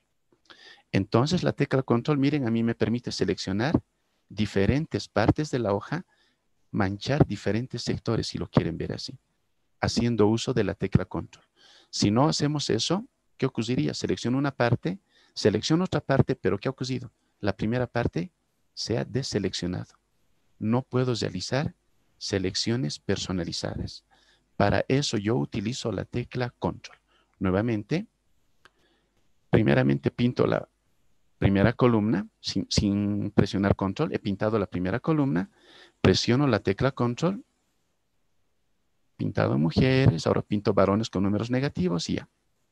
Ya he seleccionado las tres columnas que me van a permitir a mí elaborar una pirámide poblacional. Perfecto, ahora vayamos a insertar. Justamente que vamos a insertar un gráfico. ¿Qué gráfico? El gráfico que nos va a permitir a nosotros elaborar una pirámide poblacional. Vean, por defecto a mí, ¿qué me está presentando acá? Una sugerencia, un gráfico por columnas. Pero en este caso no es una pirámide, más parece unas montañitas acá. La pirámide tendría que estar al revés prácticamente. Entonces yo no necesito un gráfico de columnas. ¿Qué tipo de gráfico vamos a utilizar? Vamos a utilizar el gráfico de bases. Voy a hacer clic en bases y vean, básicamente ya me está mostrando cómo va a quedar mi pirámide. Esto tiene forma de una pirámide, por supuesto, miren, está su base y la cúspide está un poco más pequeña. Este gráfico entonces vamos a utilizar. Aceptar. Y ya tenemos acá nuestro gráfico totalmente básico. Por supuesto que acá ahora pues tenemos que dar adornos, ¿no? Si queremos podemos cambiar el color a cada una de estas basas, que estos valores no estén acá al medio, los valores de los intervalos de las edades. Fíjense los valores en la parte inferior para los varones, que es de color naranja, están en número negativo. ¿Qué querría decir? Que hay menos 200 mil varones, menos 400 mil varones. Imposible, ¿verdad? Cuando nosotros hablamos de personas siempre tenemos que manejar números positivos. No podemos decir que en Bolivia existen menos 200 mil varones. Eso no sería coherente. Entonces hay que cambiar este modo de vista, que no aparezcan los números en número negativo, sino que aparezcan en número positivo, que estas basas que ven acá estén mucho más pegadas, que cada una de las basas tenga su separación para poder distinguirse de la, la frontera con la otra base. Entonces ahora nos toca a nosotros adornar nuestro gráfico. personalizar, darle algún formato especial que nos permita a nosotros presentar una pirámide poblacional totalmente profesional, la cual ustedes la van a poder utilizar cuando estén realizando alguna presentación de resultados, ya sea ante un grupo de médicos, en alguna exposición que vayan a realizar o, o en su trabajo, tal vez en algún caso, ¿no? Sean los ministros de salud de su país o solamente de su, departamento, bueno, acá en Bolivia manejamos nosotros los departamentos, ¿no? Y puedan realizarnos ustedes una presentación profesional. Comencemos. Lo primero que vamos a realizar, vamos a hacer que todas estas vasitas que están bien separadas, las azules y las naranjas, aparezcan totalmente pegadas. Para eso, voy a seleccionar ya sea las basas azules o las basas naranjas, no importa. Y en el lado derecho, si no les aparece este formato de serie, ese menú, cuando hagan doble clic en cualquiera de las bases, que estén pero todas seleccionadas ya. Bueno, acá ver nuevamente. Estoy fuera del gráfico. Voy a hacer doble clic en cualquiera de las bases. Y fíjense cómo todas las basitas se han seleccionado. Y ahora yo tengo acá un espacio para poder aplicar algún formato especial. Primeramente, vamos a trabajar en las opciones de serie. Vamos a trabajar en este icono que ven ustedes acá que parecen tres basitas una grande que está al medio, ¿no? Lo único que vamos a cambiar, superposición de series, le vamos a colocar el valor de 100. Ancho del intervalo, le vamos a colocar el valor de 0. Hacemos un clic fuera y vean qué ha. Ah, ahora está un poco más presentable. Por lo menos las bases ya están todas pegadas. Ya no tienen la separación que se tenía hace un momento. Ahora ya están totalmente pegadas ya estamos comenzando a darle la presentación final a, a nuestro gráfico, en este caso a nuestra pirámide poblacional. Pero vean qué ocurre en la parte naranja. Están unidas las bases, pero no tienen una separación. Por ejemplo, de 0 a 4, yo no sé hasta dónde será, de 10 a 14. Debería tener, como en este caso, una línea divisoria entre base y base. Si yo me voy acá, bueno, acá también se pierde la línea, ¿no? Entonces vamos a colocar una línea de color negro que sea divisoria entre base y base. ¿Dónde lo hacemos eso? Seguimos acá nosotros en las opciones de serie. Nos vamos en este caso al bote de pintura que aparece al principio. Nada raro que a ustedes les aparezca así, el relleno y el borde totalmente cesado. Hacemos clic en borde. Vamos a decir que el borde sea de cada una de las bases una línea sólida. Y justamente, bueno, acá por defecto ya me ha aparecido el color negro. Color negro. Y veamos qué ha ocurrido. Ahora ya tiene un borde negro cada una de las bases. Lo mismo a este otro lado. He hecho clic acá y todas las bases se han colocado con estos puntos que me está indicando que están seleccionadas. Línea sólida. Y bueno, por defecto ya me ha aparecido el color negro, el cual, vean cómo ya ha cambiado la presentación ya tenemos nosotros un borde negro para cada una de las bases. Siguiente paso, estos valores que aparecen acá al medio, los valores de la edad, los grupos etarios. Miren, dice 90 o más, 80-84, pero como que se pierde. Con el color de fondo de la base naranja se pierde. Para que sea mucho más visible, lo que nosotros vamos a hacer, vamos a llevar estos valores al lado izquierdo de modo que de esa forma va a estar mucho más visible los intervalos de las edades. ¿Cómo hacemos eso? Hacemos clic en cualquiera de los intervalos. por ejemplo, acá en el 90, y vean, no sé si notan, acá hay un recuadro que está englobando a todos los rangos de las edades. Entonces nosotros acá vamos a aplicar otro formato. Vamos a llevar todo este recuadro al lado izquierdo del gráfico. Para esto, ¿dónde nos vamos a ir nosotros? Nos vamos justamente acá dentro de las opciones, igual a las tres vallas, a las opciones de en las tres vallas. Y nosotros vamos a escoger la opción justamente de etiquetas. Y dentro de etiquetas, la posición de la etiqueta, le vamos a decir que sea una posición baja. Y automáticamente todos los valores me lo ha llevado al lado izquierdo de mi gráfico. Listo, ya, ya está un poco mucho más presentable. Todavía falta, pero ya cada vez estamos más cerca de lo que nosotros estamos buscando, más cerca de lo óptimo. Siguiente paso. Le colocaremos un valor a cada una de las bases. Por ejemplo, yo no sé cuántas personas habrá de 60 a 64, no sé cuántas de 70 a 74, cuántas mujeres. Acá con este estimado no puedo saber. Le colocaremos el valor a cada una de estas bases. ¿Qué vamos a hacer? Si en este momento acá lo aplico, solamente se va a aplicar esta basita porque solamente esta está seleccionada. No sé si notan acá los puntos que están alrededor de esta base. Vamos a empezar con el lado naranja. Hago un clic acá, botón derecho, y vean cómo todas se han seleccionado. Y le decimos agregar etiquetas de datos. A todas al mismo tiempo. Ya lo tenemos para el lado naranja, para los varones. Lo mismo para el lado azul. Botón derecho en el lado azul, en cualquiera de las vallas. Agregar etiquetas de datos y ya están los valores. Si alguien me dirá, pero están totalmente sobrepuestos, que no se entienden. Bueno, está bien. Todavía no estamos llegando al punto final de nuestra pirámide poblacional terminada. Pero ya tenemos los valores. Por lo menos ya sé, por ejemplo, en este primer intervalo, de 0 a 4 años de edad, de acuerdo a este gráfico, hay 290.700 mujeres. Entonces ya me va a permitir cada uno de estos valores interpretar lo que está ocurriendo con cada una de estas bases, ya sean para las mujeres o para los varones. Continuemos. Siguiente paso que hemos dicho, no podemos hablar de valores negativos cuando estamos hablando de personas. Es incoherente decir que de 90 o más años en Bolivia existen menos 50.100 varones. No, eso no existe deben existir 50.100 varones de 90 o más años.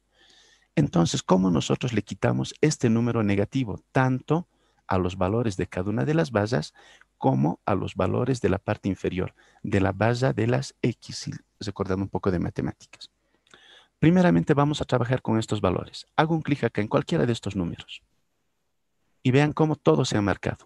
¿Está bien? A todos le queremos aplicar el mismo formato a todos al mismo tiempo le queremos quitar ese número negativo. Siguiente paso, ¿dónde nos vamos? Acá en el lado derecho, en nuestro menú contextual que tenemos en el lado derecho, en formato de etiquetas, nuevamente nos vamos a las opciones de etiqueta donde están las tres columnas. En este caso, ¿con qué vamos a trabajar? Ahora vamos a trabajar con número. Ingresamos a número. La categoría me dice general, no no vamos a trabajar con una categoría general. Vamos a personalizar nuestra propia categoría acá. Y escogemos personalizado. Y lo que vamos a hacer acá, vamos a trabajar aquí. Fíjense, lo he pintado en esta casilla. Está un poco pequeñita, pero bueno, ¿qué vamos a hacer? Acá justamente al medio está un signo menos. No sé si lo pueden apreciar, está un poco bastante pequeño no sé, mi pantalla es un poco pequeño, ¿no? Si lo pueden apreciar, acá al medio hay un signo menos. Ese menos lo vamos a quitar. Primeramente, ¿qué está apareciendo? Un signo numeral, coma, numeral, numeral, cero, punto y coma, signo menos, numeral, coma, numeral, numeral, cero.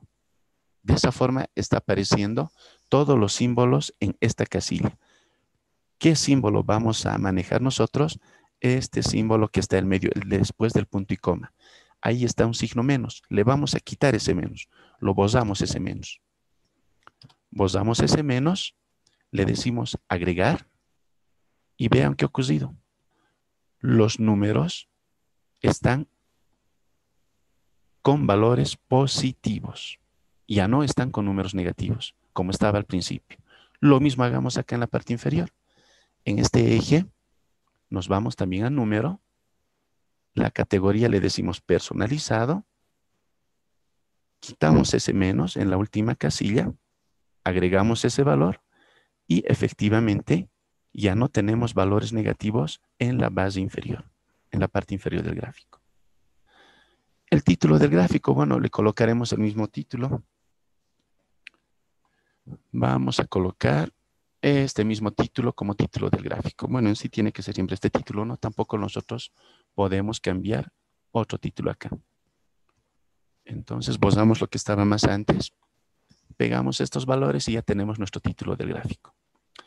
Y finalmente, para concluir con nuestro gráfico, Vean cómo estos valores están totalmente sobrepuestos. Inclusive se han sobrepuesto con los valores de los intervalos.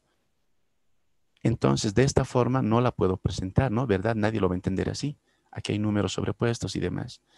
Para hacer esto, lo único que tenemos que hacer es, en la misma pantalla, agrandar el gráfico a todo lo que pueda, para que el gráfico se pueda distribuir de mejor manera y pueda aprovechar el máximo espacio de la pantalla que ustedes tienen. Miren cómo verán acá.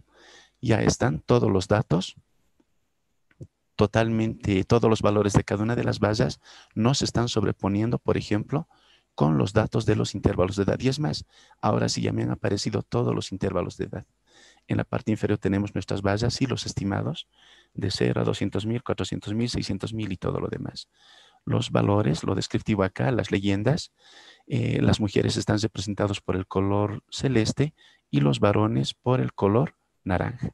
De esta forma, entonces, señores, jóvenes, señoritas, todos los presentes de esta charla, así se elabora una pirámide poblacional haciendo uso del Excel. ¿Qué es lo que hemos hecho entonces nosotros? Como al principio, ¿no? Hemos hablado de datos, información y poder tener un resultado. Aquí estaban los datos. Así nos han dado estos datos. Estos datos nosotros los hemos procesado de acuerdo a nuestra conveniencia. Hemos formado información con estos datos. ¿Por qué? Porque los hemos agrupado de acuerdo al interés que nosotros teníamos. En este caso, elaborar una pirámide poblacional. Hemos formado información haciendo uso, agrupando estos datos, intervalo, valores de mujeres y valores de hombre en negativo. ¿Y nuestro resultado qué ha sido? Pues el resultado ha sido una pirámide poblacional, la cual les va a permitir a cada uno de ustedes realizar una presentación, una interpretación de acuerdo a los fines que estén buscando para los cuales han elaborado su pirámide poblacional. Acá, por supuesto, pues juega la experiencia de cada uno de ustedes en el campo que se estén desenvolviendo. La computadora, como verán, en una serie de pasos, inmediatamente todo bonito, con los colores que nosotros queramos, nos lo va a ir sacando los resultados. No es complicado, no es difícil.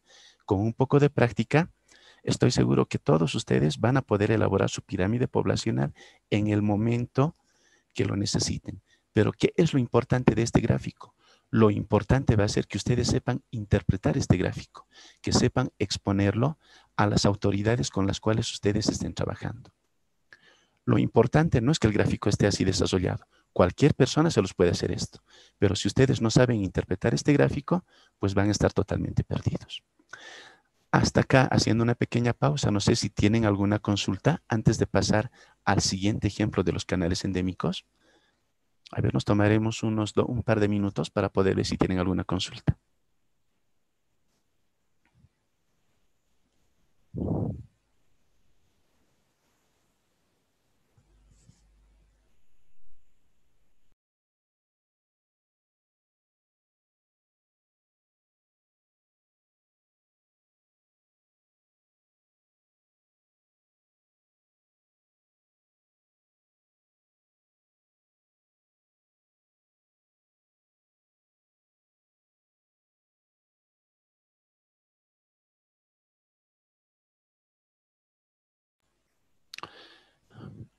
Bueno, revisando el grupo de chat, bueno, no hay ninguna consulta sobre esto, ¿no? Entonces, continuemos a ver con otro ejemplo que también es bastante, que tiene un uso que se aplica mucho en el área de la epidemiología sobre todo, la elaboración de los canales endémicos. Y para esto, ¿con qué vamos a trabajar? Acá tenemos otro ejemplo que ya está elaborado previamente. En este caso, vamos a aplicar el método de los cuartiles para poder elaborar un canal endémico. Es un método válido, hay muchos otros métodos también, pero en este caso, en una publicación de la OPS, un método que aplican y que es bastante sencillo es justamente el método de los cuartiles. ¿Qué es lo que me dice este método? Primeramente me dice que usted puede dividir el, todo el tiempo que usted está queriendo interpretar, realizar la valoración de los datos de una determinada enfermedad, puede dividirlo ya sea en meses o en semanas epidemiológicas. En este caso, ¿por qué no estamos tomando en cuenta las semanas epidemiológicas? Porque como ustedes saben, esos valores son más, no son solamente como en este caso 12, ¿no? Vamos a tener aquí muchas más semanas y los valores van a ser mucho más pequeños para que para poder mostrarlos en pantalla. Pero los pasos que vamos a seguir son los mismos. En este caso nosotros vamos a aplicar el método de, de los cuartiles haciendo uso de los meses del año. ¿Qué más me dice? Nosotros tenemos una determinada enfermedad. Necesitamos los datos de esa enfermedad de la última gestión, los datos que han sido reportados. En este caso, me indica que en el año 2020, en el mes de enero, se han reportado 14 casos. En el mes de febrero 11, en el mes de marzo 8, en el mes, por ejemplo, de agosto se han reportado 45 casos y demás. Son los datos reportados en la última gestión sobre la enfermedad que ustedes están queriendo realizar el análisis. Otro requisito, ¿qué más necesitan aparte de los datos de la última gestión? Necesitan los datos de las siete anteriores gestiones, por lo menos siete gestiones anteriores. La teoría también funciona, los datos van a ser bastante representativos si ustedes toman en cuenta inclusive hasta cinco años atrás. Pero dice no menos. Si tienen cuatro, tres o dos o un año nada más, los resultados con este método no van a ser óptimos. Es por eso que lo más recomendable es tener por lo menos cinco años atrás, seis o lo mejor siete. Tampoco no les recomiendan tener más, ocho, nueve, diez, once, doce. No, siete como máximo, cinco como mínimo de gestiones pasadas, pasadas a la gestión en la cual ustedes están queriendo realizar la valoración, eh, el gráfico, el canal endémico de esos valores de la determinada enfermedad que ustedes están queriendo realizar su análisis. De esa forma entonces trabaja el método de los cuartiles. Comencemos entonces. ¿Qué me dice la teoría? ¿Qué me dice cuáles son los pasos para poder realizar un canal endémico? ¿En qué? En la hoja electrónica de Excel. Primeramente me dice, una vez que usted tenga estos datos, toda esta tabla que tenemos acá seleccionada, Primeramente, copie, me dice así. Los meses, solamente la columna de los meses. Botón derecho, copiar. Lo vamos a pegar acá dejando esta columna en blanco para que vean que hay una separación. Botón derecho, pegar. Listo. Y me dice así, mejor si lo copia a la misma altura. ¿Para qué? Para que más adelante no se confunda si está con abril, para que vea que está trabajando en la misma fila de abril. Lo más recomendable copiarlo a la misma altura. A continuación, vamos a colocar acá los títulos de los cuartiles que vamos a calcular. El cuartil 1, el cuartil 2 y el cuartil 3. Esos tres cuartiles tenemos que calcular. Y estoy seguro que muchos de ustedes ya deben estar acá revisando sus apuntes ¿no? de estadística, bioestadística, para poder saber qué es un cuartil, cómo se calcula un cuartil y todo lo demás. No se preocupen, afortunadamente la computadora esto lo va a hacer simplemente escribiendo una función. No tenemos que hacer todo ese proceso matemático que nos han enseñado en, nuestra vida universitaria para que para poder calcular un cuartil, interpretarlo y todo lo demás. En este caso, lo que nos dice este método, usted calcula el cuartil. No siempre tiene que interpretarlo. Lo dejamos en blanco. Y la última columna, ¿qué va a hacer? Me dice la teoría que tengo que copiar los datos de la última gestión, en este caso, del 2020 lo pinto, botón derecho, copiar, botón derecho, pegar. Y ya está. Ya tenemos básicamente preparada nuestra tabla. ¿Para qué? Para que nosotros podamos elaborar nuestro canal endémico. ¿Qué nos falta? Pues por supuesto calcular el cuartil para cada uno de los meses. Enero, febrero, marzo, abril, el cuartil 1, el cuartil 2, el cuartil 3. ¿Cómo lo hacemos? Vamos a escribir una función, otra función ahora en este caso. Si se acuerdan, hemos dicho que podemos utilizar el signo más o el signo igual. Voy a utilizar el signo más. Y la función precisamente se llama cuartil. Y vamos a utilizar esta que está acá al final. Cuartil, solamente cuartil. Abrimos paréntesis. ¿Qué me pide cuartil? Me pide una matriz de datos de qué datos voy a calcular y qué número de cuartil quiero calcular. ¿Cuál es la matriz de datos para el primer cuartil para el mes de enero? Justamente los valores anteriores a la gestión con la cual nosotros estamos trabajando. Estamos trabajando con el 2020. Entonces, ¿cuál va a ser su matriz de datos? Estos valores. Desde la gestión 2013 a la gestión 2019, no la gestión 2020 porque la gestión 2020 es justamente la que nosotros estamos viendo para poder ver qué ocurre en esta gestión. Entonces, la matriz de datos va a ser del 2013 al 2019. Simplemente lo pintamos y Excel ya se ocupa de colocar las direcciones de las celdas. Fíjense acá, celdas eh, relativas. Vamos a trabajar con celdas relativas. Para poder colocar el otro valor, colocamos punto y coma. Ahora me dice, ¿qué cuartil quiere calcular? Facilito el 0, el 1, el 2, el 3, el 4. ¿Cuál de los cuatro cuartiles? En este caso, el cuartil 1. Y entonces solamente debemos colocar el número 1, nada más. Cesamos paréntesis. Y ya está, ya tenemos calculado el primer cuartil. El segundo cuartil para ese mismo mes. Nuevamente colocamos cuartil, abrimos paréntesis, así es la función, la matriz de datos, para el mes de enero seleccionamos este conjunto de datos, el mismo conjunto de datos, y en este caso queremos calcular el cuartil número 2. Cesamos paréntesis y ya está la función. Vean qué tan sencillo había sido calcular cuartiles haciendo uso de Excel, haciendo uso de un programa que maneja justamente funciones estadísticas. Y finalmente el cuartil 3. Iniciamos la función con el símbolo más, cuartil, Abrimos paréntesis, seleccionamos los datos, punto y coma, y en este caso queremos el cuartil número 3. Cesamos paréntesis y ya tenemos calculados el cuartil 1, el cuartil 2 y el cuartil 3 para el mes de enero. Lo mismo tenemos que hacer para febrero, lo mismo para marzo, lo mismo para abril y así sucesivamente hasta diciembre. A ver, trabajemos en este ejemplo más. Más el cuartil. En este caso, para el mes de febrero, por supuesto que van a ser los, los valores para el mes de febrero. Vean cuán importante es tener los meses en la misma fila para que no, pueda, no cometamos ningún error. Punto y coma, el cuartil número uno. Pero estoy seguro que ha debido ya, ya deben estar pensando ustedes, sí, pero ¿por qué no copiamos si estamos manejando direcciones absolutas, ah, perdón, relativas. ¿Qué hemos dicho? Cuando son direcciones relativas, la fila automáticamente va a cambiar al momento de pegar la fórmula.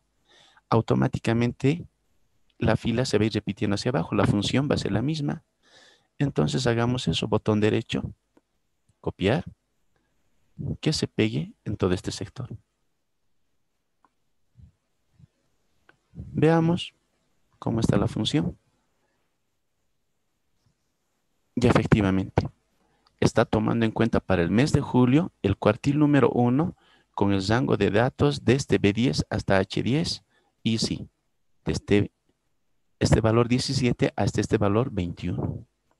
Entonces el copiar y pegar funciona, es bastante útil cuando nosotros utilizamos para este ejemplo direcciones relativas. Ya no vamos a utilizar nosotros direcciones absolutas. Para este ejemplo no nos sirve manejar direcciones absolutas, solamente con direcciones relativas. Veamos este último. Y efectivamente está tomando en este caso los datos de diciembre. El cuartil 1 para los datos de diciembre. Veamos entonces, ¿podemos copiar ambos al mismo tiempo? Por supuesto que sí, botón derecho, copiar. queremos que en todo esto se peguen esos valores. Pegar. Veamos. A ver, veamos algunos ejemplos para ver si es que se ha creado el cuartil 2. Para esta columna hemos dicho que tiene que ser el cuartil 2. A ver, veamos este 8. Dice el cuartil número 2, sí. ¿De qué, ¿De qué rango de datos? Para el mes de abril, justamente los valores del mes de abril. Y está efectivamente seleccionado esos valores. Está bien. Veamos para este número 10 si se ha, utilizado los datos adecuados. Estamos en el cuartil 2 y efectivamente el cuartil 2, los valores desde B13 hasta H13 y efectivamente para octubre, los valores del mes de octubre. Veamos en el cuartil 3 si ha ocurrido lo mismo. A ver este 12.5. Estamos calculando columna N, que es el cuartil número 3. Efectivamente, cuartil 3. Los valores desde B7 hasta H7, mes de abril. Efectivamente, los valores del mes de abril.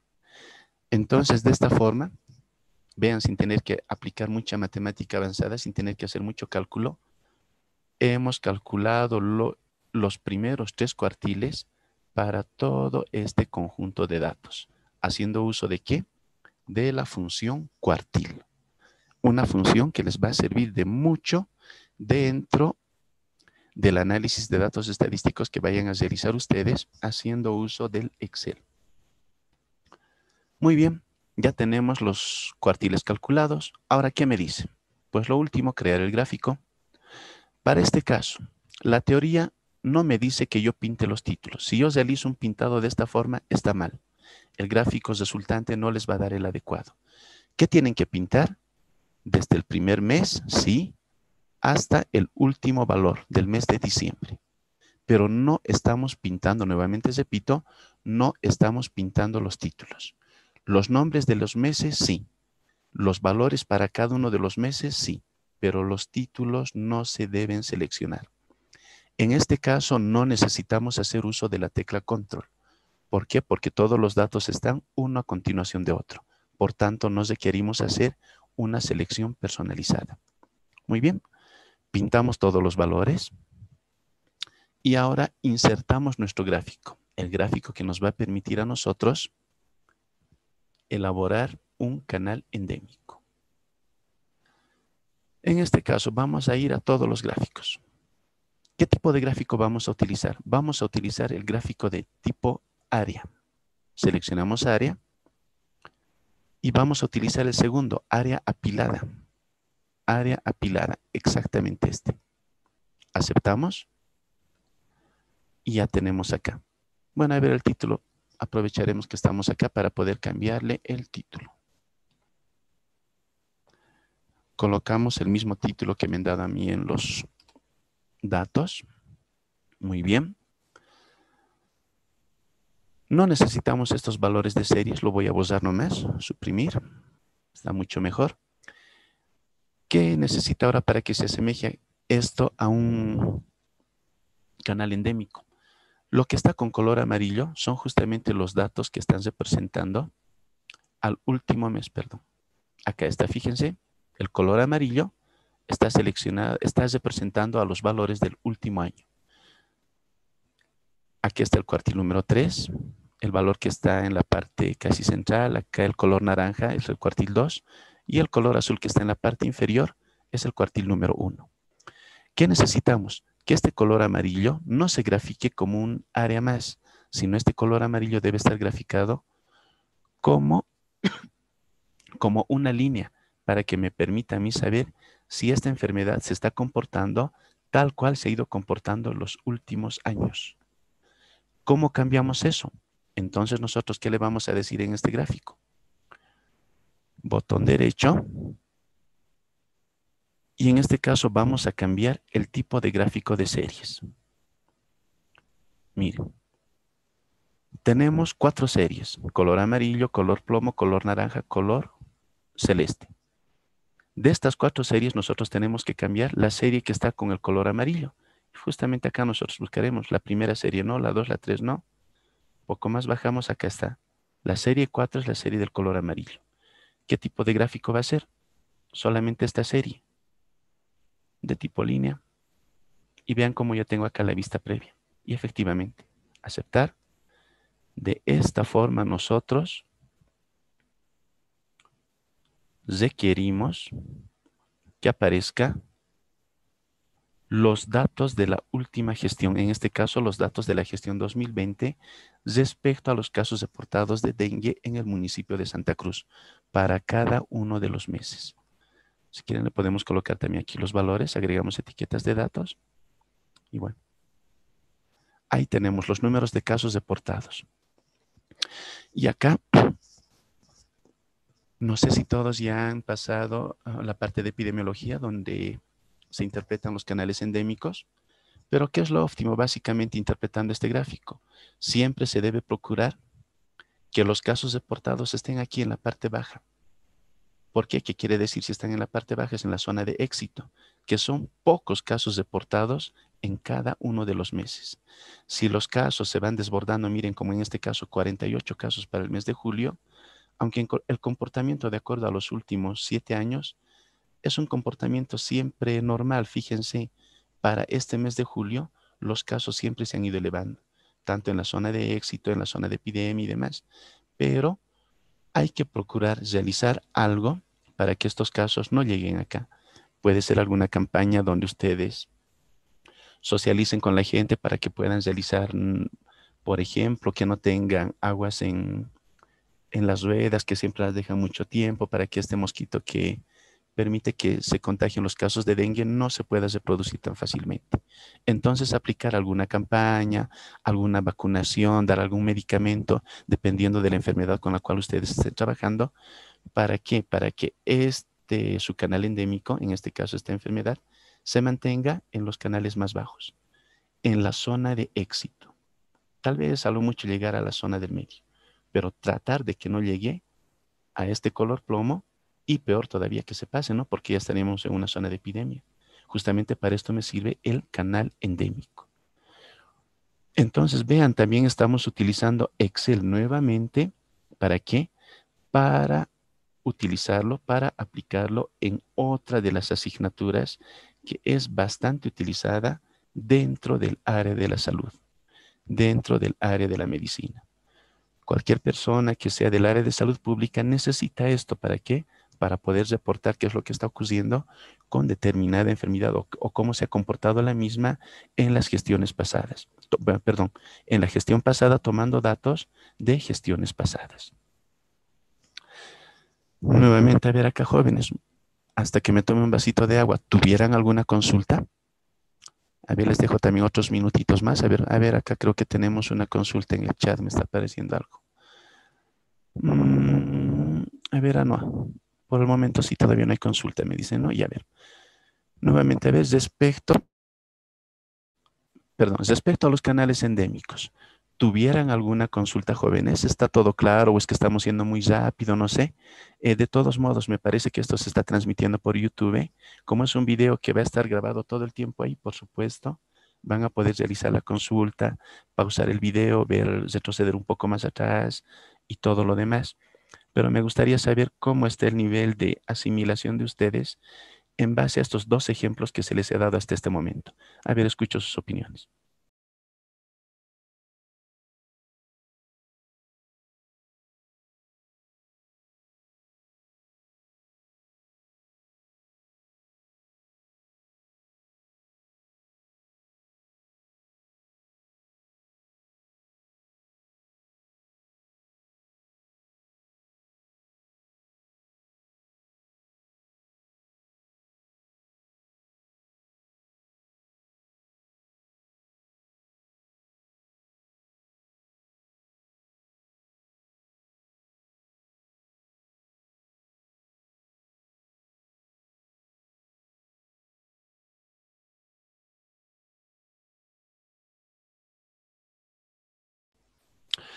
Ya, perfecto. Bueno, como indican que está todo bien, muy bien.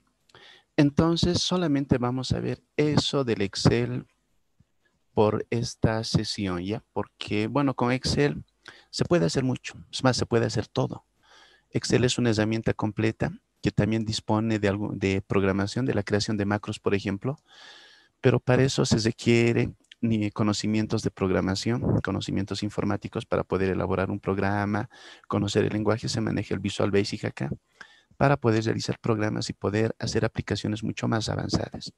Hasta este momento, pero por lo menos haciendo uso de los gráficos, estamos viendo cómo, cómo realizar un canal endémico y cómo elaborar una pirámide poblacional, que lo hemos hecho en el primer ejemplo.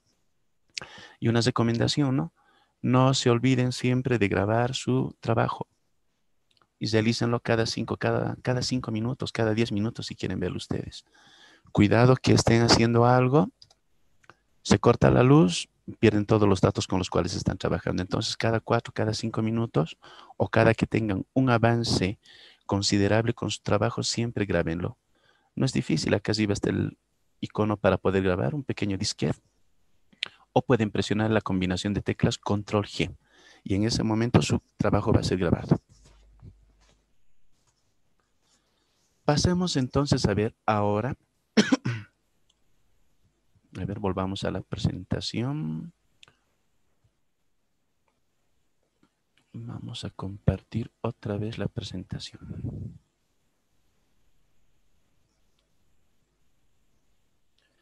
Entonces, de acuerdo a los objetivos planteados para poder tocar el Excel, hemos visto cómo elaborar una pirámide poblacional, cuáles son los requisitos que se requieren para poder elaborar la misma y lo mismo con los canales endémicos dos aplicaciones bastante utilizadas en el área de la salud haciendo uso del programa de Excel. Ahora, ¿qué vamos a ver? Ya la segunda parte y la última, vamos a ver nosotros cómo, nos, cómo podemos elaborar o cómo podemos hacer uso de esta herramienta que también es bastante importante, bastante utilizada para el análisis de datos en las áreas sociales, en este caso en el área de la salud. Vamos a ver el SPSS. ¿Qué vamos a hacer nosotros? Vamos a ver cómo nosotros podemos crear una variable, cómo podemos introducir datos, cómo podemos realizar un análisis de frecuencias, cómo podemos usar algunas fórmulas, cómo podemos cruzar variables y cómo podemos agrupar datos. Son varias cosas, ¿no? Pero van a ver que es bastante sencillo y posiblemente nos tome menos tiempo de lo que, hemos, eh, de lo que nos hemos tomado en el Excel. Para esto entonces vamos a, mm, a ver. A ver, a ver, a ver, ¿dónde estamos?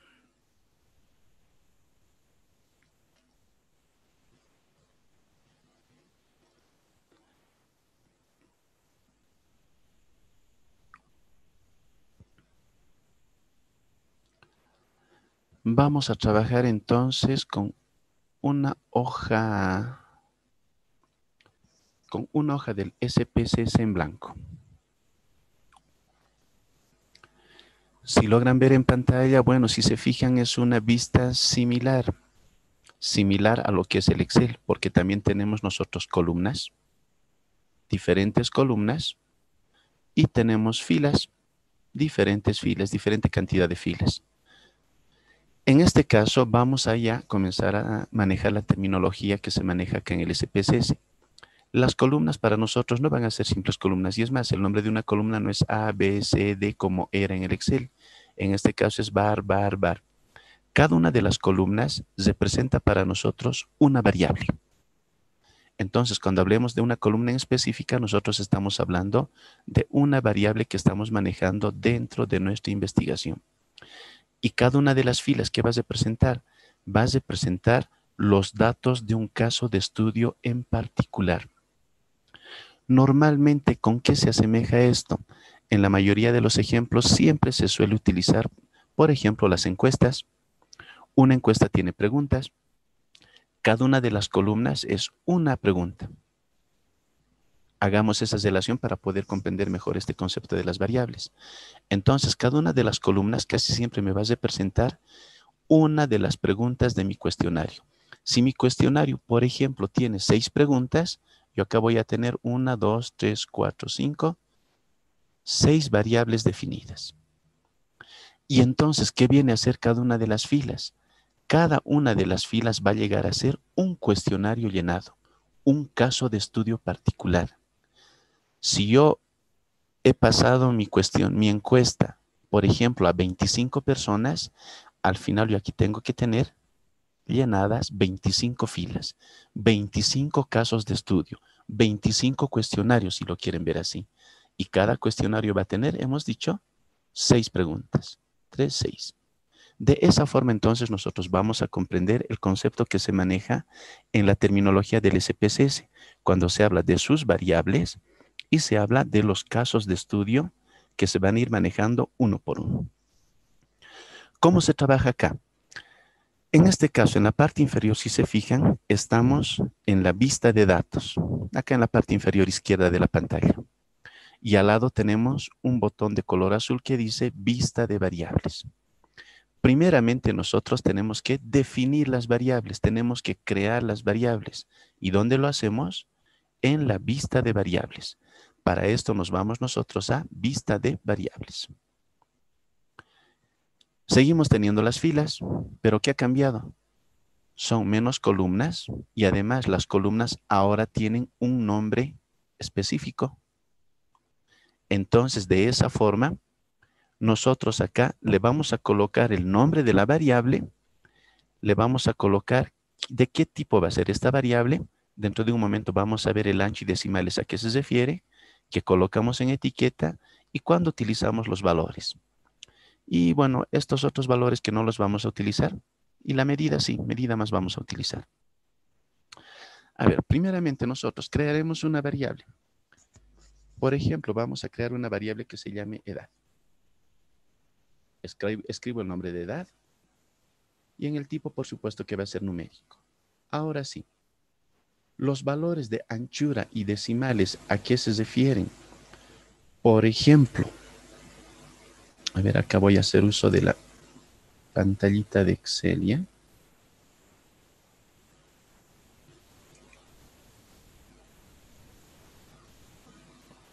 Ya, enseguida les comparto lo que estamos acá con Excel. A ver.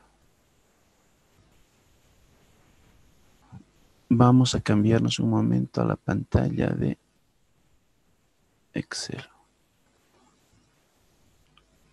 Acá estamos en Excel. Miren, yo voy a colocar acá algunos números al azar.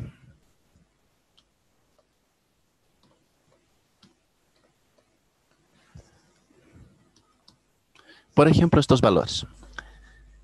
El primer caso, tenemos un simple valor que es un número entero que dice 352. Tenemos el valor, el segundo, que es 25,12, el tercero 245,1 y el cuarto que es 9854. Y en este caso, a nosotros nos interesa definir a lo que se refiere anchura y decimales, justamente lo que estaba en mi pantalla del SPSS. Miren, tenemos la columna de anchura y la columna decimales. Y por defecto en ancho me lo ha puesto 8, decimales 2. ¿A qué se refieren estas dos columnas? Eso lo vamos a explicar nosotros haciendo uso de estos dos ejemplos. El ancho se refiere a la cantidad de dígitos que puede tener el número en la parte entera. En este caso, la parte entera es 352. ¿Cuántos dígitos tiene? Uno, dos, tres dígitos. Por tanto, este número 352 tiene como ancho 3. Y decimales no tiene ninguno, por tanto tiene cero decimales.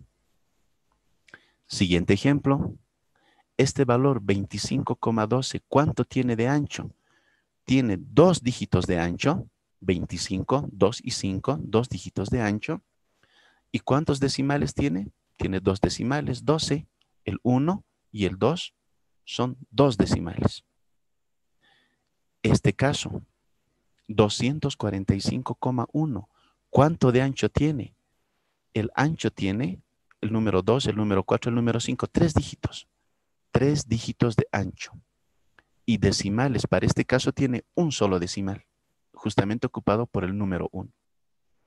En este ejemplo, 9854, ¿cuánto de ancho tiene? Cuatro dígitos de ancho. Y no tiene ningún decimal. De esa forma, SPC se maneja anchura y decimales. A eso se refiere cuando les pide a ustedes que definan cuánto de ancho quieren que tenga el número y cuántos decimales va a tener ese número que ustedes van a introducir. Normalmente, ¿cómo se maneja esto? ¿Dónde se hace hincapié en esto? Cuando nosotros tenemos la edad, por ejemplo, alguien responderá, si ustedes le preguntan a su amigo, ¿qué edad tienes? Les dirá, yo tengo 20,5 años o 20,32 años. Imposible, todos siempre manejan los números enteros. El ancho, no importa, lo vamos a dejar con 8. Hoy en día ya no hay, ya no hay mucho problema. Antes, ¿por qué se tenía que definir el ancho exacto? Porque a medida que van introduciendo los valores para edad, pueden manejar, por ejemplo, los valores de, de 10 millones de personas. Cada uno de estos valores que supuestamente ocupa un ancho 8 hace que el espacio en el disco duro se vaya reduciendo cada vez más. Y para 10 millones de datos eso ya era bastante grave. Pero hoy en día, como ya se tiene discos duros bastante grandes, unidades de almacenamiento que son bastante enormes, es más, ustedes en su propio celular pueden tener tarjetas de memorias que manejan cientos de gigas. Entonces, esto del ancho ya no se ha vuelto una limitante. Por tanto, que lo más recomendable es dejarlo el valor que les aparezca. Y por defecto les va a aparecer 8. Con un ancho 8, ¿qué tipo de valor van a poder, cuál es el máximo valor que van a poder introducir? veremos acá 1, 2, 3, 4, 5, 6, 7, 8. Ese valor. Ese valor tiene 8 de ancho y 0 de decimales. ¿Será que alguien va a tener una edad hasta este número? Imposible, ¿verdad? Por tanto, lo dejamos con 8. Entonces, como máximo va a ser 8. Decimales sí. Como no vamos a tener decimales, lo colocamos 0 para la variable edad. Y nada más. Otra variable característica que se utiliza para que ahora, para poder utilizar esta columna de valores, vean cómo va a cambiar cuando nosotros coloquemos este ejemplo y este ejemplo. En edad no estamos colocando nada en valores, pero para esta nueva variable vamos a utilizar la columna de valores. Vamos a hacer uso de la variable sexo. El tipo, en este caso lo vamos a definir que sea de tipo cadena aceptar. Lo vamos a dejar con 8. No tiene decimales, por supuesto, porque es un tipo cadena. Va a aceptar solamente valores de letras, letras o algunos caracteres especiales. Todo lo va a tomar como si fueran letras. Los valores, lo más importante, ¿qué definimos nosotros en valores? Para la variable sexo, volvemos al Excel acá. La variable sexo, ¿cuáles son sus categorías? Las categorías son masculino y femenino para esta variable. Entonces, como nosotros tenemos una variable que presenta categorías, ¿qué es lo que vamos a hacer? Necesitamos colocar dos categorías, una categoría que se llame masculino y otra categoría que se llame femenino. No hay más categorías. Para esta variable solamente tenemos dos categorías. Es eso lo que tienen que hacer al momento de definir sus variables en el SPSS. Tienen que identificar si la variable tiene alguna categoría o muchas categorías. O como en el caso de la edad, no tiene categorías, porque no estamos manejando intervalos de edad. Entonces, definamos la variable sexo con sus dos categorías. Y es más, ¿qué vamos a hacer? Nosotros vamos a decir que cuando escribamos el número 1, vas a presentar a la categoría masculino.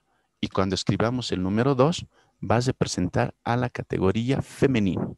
De modo que no vamos a tener que escribir masculino, varón o tal vez hombre. Solamente vamos a colocar el número 1 y ya se refiere a que es una persona de sexo masculino.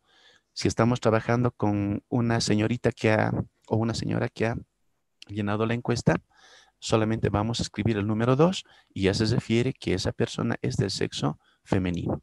De esa forma entonces vamos a definir las categorías para la variable sexo. ¿Y dónde hacemos eso? Lo hacemos justamente en la columna de valores. En valores nosotros, para la variable sexo, definimos eso. ¿Qué valor? Hemos dicho, el número 1 va a representar a la categoría masculino. Añadimos para que aparezca ese valor acá. Aquí tiene que aparecer esto. Añadir y efectivamente 1 va a ser igual a masculino. La otra categoría, el valor va a ser 2 y la categoría es femenino. Y ojo, no lo dejen acá arriba, siempre tiene que aparecer acá todas las categorías. Fíjense, lo voy a dejar este valor 2 y este femenino sin añadir. Voy a aceptar. Aceptar. No hago caso acá del mensaje de advertencia que me está apareciendo. Supuestamente ya he definido. Uno para masculino, dos para femenino. Veamos. Y no aparece femenino. ¿Por qué? Porque yo no he añadido esa categoría para esta variable. Añadir, ahora sí. Ahora ya tengo ambas categorías definidas acá. Ya he añadido las dos categorías. Por tanto, aceptamos.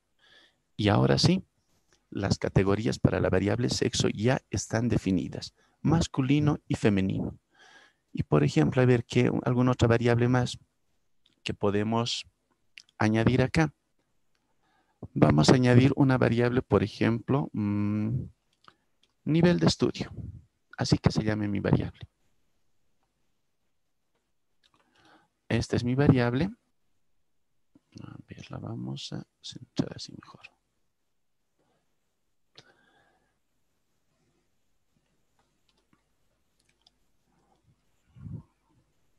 Y las categorías que vamos a definir, por ejemplo, primario,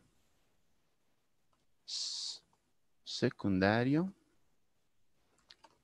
universidad, posgrado o tal vez ninguno. Vamos a suponer que tal vez exista también alguna persona que no tiene ningún nivel de estudio. Ahora queremos definir esta variable. Esta nueva variable que se llama nivel de estudio. Vamos a utilizar ahora este ejemplo. Fíjense, ahora tenemos nosotros otras categorías más ya no son dos categorías como el primer caso. Ahora en este caso son una, dos, tres, cuatro, cinco categorías. Y efectivamente volvamos a codificar. Para primario le vamos a decir que es el 1, para secundario le vamos a decir que es el 2, para universidad vamos a decir que es el número 3, y para posgrado le vamos a decir que es el número 4, y si alguien no tiene ningún nivel de estudio, decimos que es 5. De modo que nosotros cuando estemos pasando los datos, no tenemos que escribir primario, secundario, universidad, etc. Solo tenemos que colocar estos números, esta codificación que nosotros le estamos asignando. No siempre tiene que empezar en uno. Alguien puede tener la idea y decir, no, yo quiero empezar en cero, uno, dos, tres y Cuatro, perfecto. Depende de cada uno de ustedes con qué valor quieren comenzar. Yo por comodidad siempre empiezo en uno, porque es la numeración, la codificación que siempre manejo. De modo que cuando yo estoy analizando los datos, ya sé que estoy iniciando en uno y nunca voy a comenzar con cero. Pero, ¿de quién depende esto de la codificación? Depende del mismo investigador. ¿Ya? Entonces, para efectos de que no me equivoque nada más, yo estoy comenzando en uno Cualquiera de ustedes puede comenzar en 0, puede comenzar en 2, en 3, en 5, en 10, depende de cada uno. Pero lo más recomendable es siempre iniciar en un valor bajo. ¿Por qué? Porque va a ser mucho más fácil que se acostumbren y digan en una pregunta así, el 1 es lo más básico y bueno, y así sucesivamente va a ir subiendo de acuerdo a las categorías que se tengan. Solamente como recomendación, siempre comiencen en 1. Muy bien, entonces definamos ahora nuestra nueva variable que se llama nivel de estudio. Y vean, le voy a colocar ese nombre, fíjense, nivel de estudio. Veamos qué ocurre. Me muevo a la siguiente celda. Ahí mire, me da un error. ¿Qué dice el error? El nombre de variable contiene un carácter no permitido. ¿A qué se refiere este error?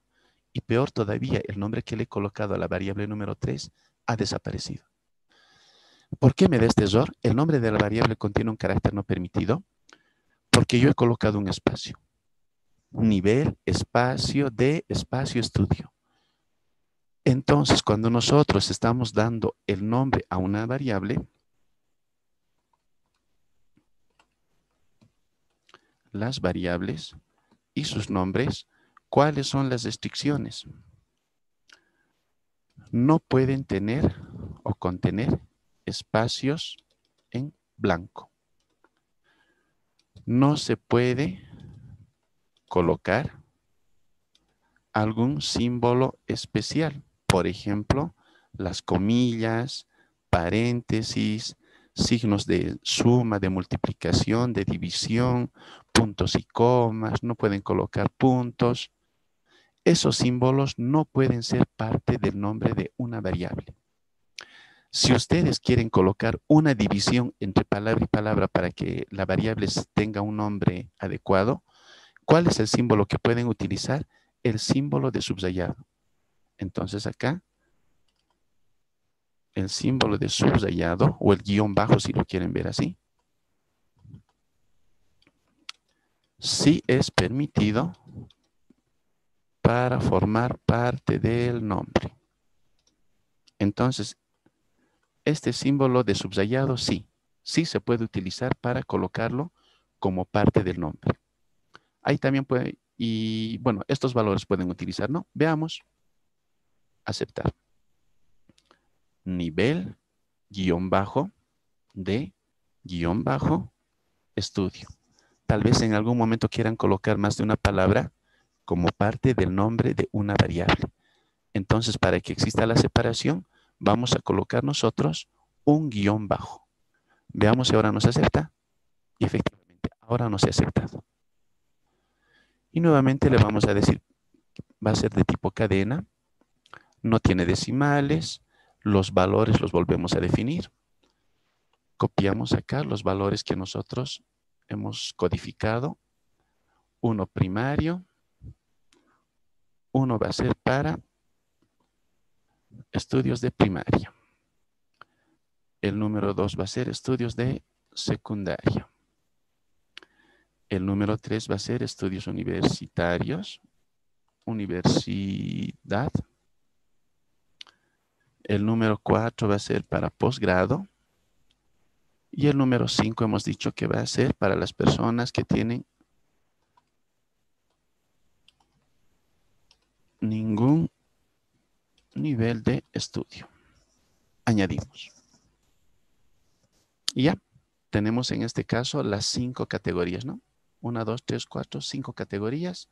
Efectivamente, las cinco categorías para la variable nivel de estudio. Y de esta forma nosotros, señores, podemos ir definiendo todas las variables que sean necesarias, todas las variables que nosotros vayamos a utilizar en nuestro cuestionario, en los datos que nosotros queremos realizar el análisis estadístico. Cada una de las variables tenemos que ir definiéndolas antes de introducir los datos. Y para que nosotros, miren, en la primera variable, como era de tipo numérico, es una variable de escala. Con este valor, si acá ven el icono es como una regla, una variable de tipo escala, yo con esta puedo realizar operaciones matemáticas.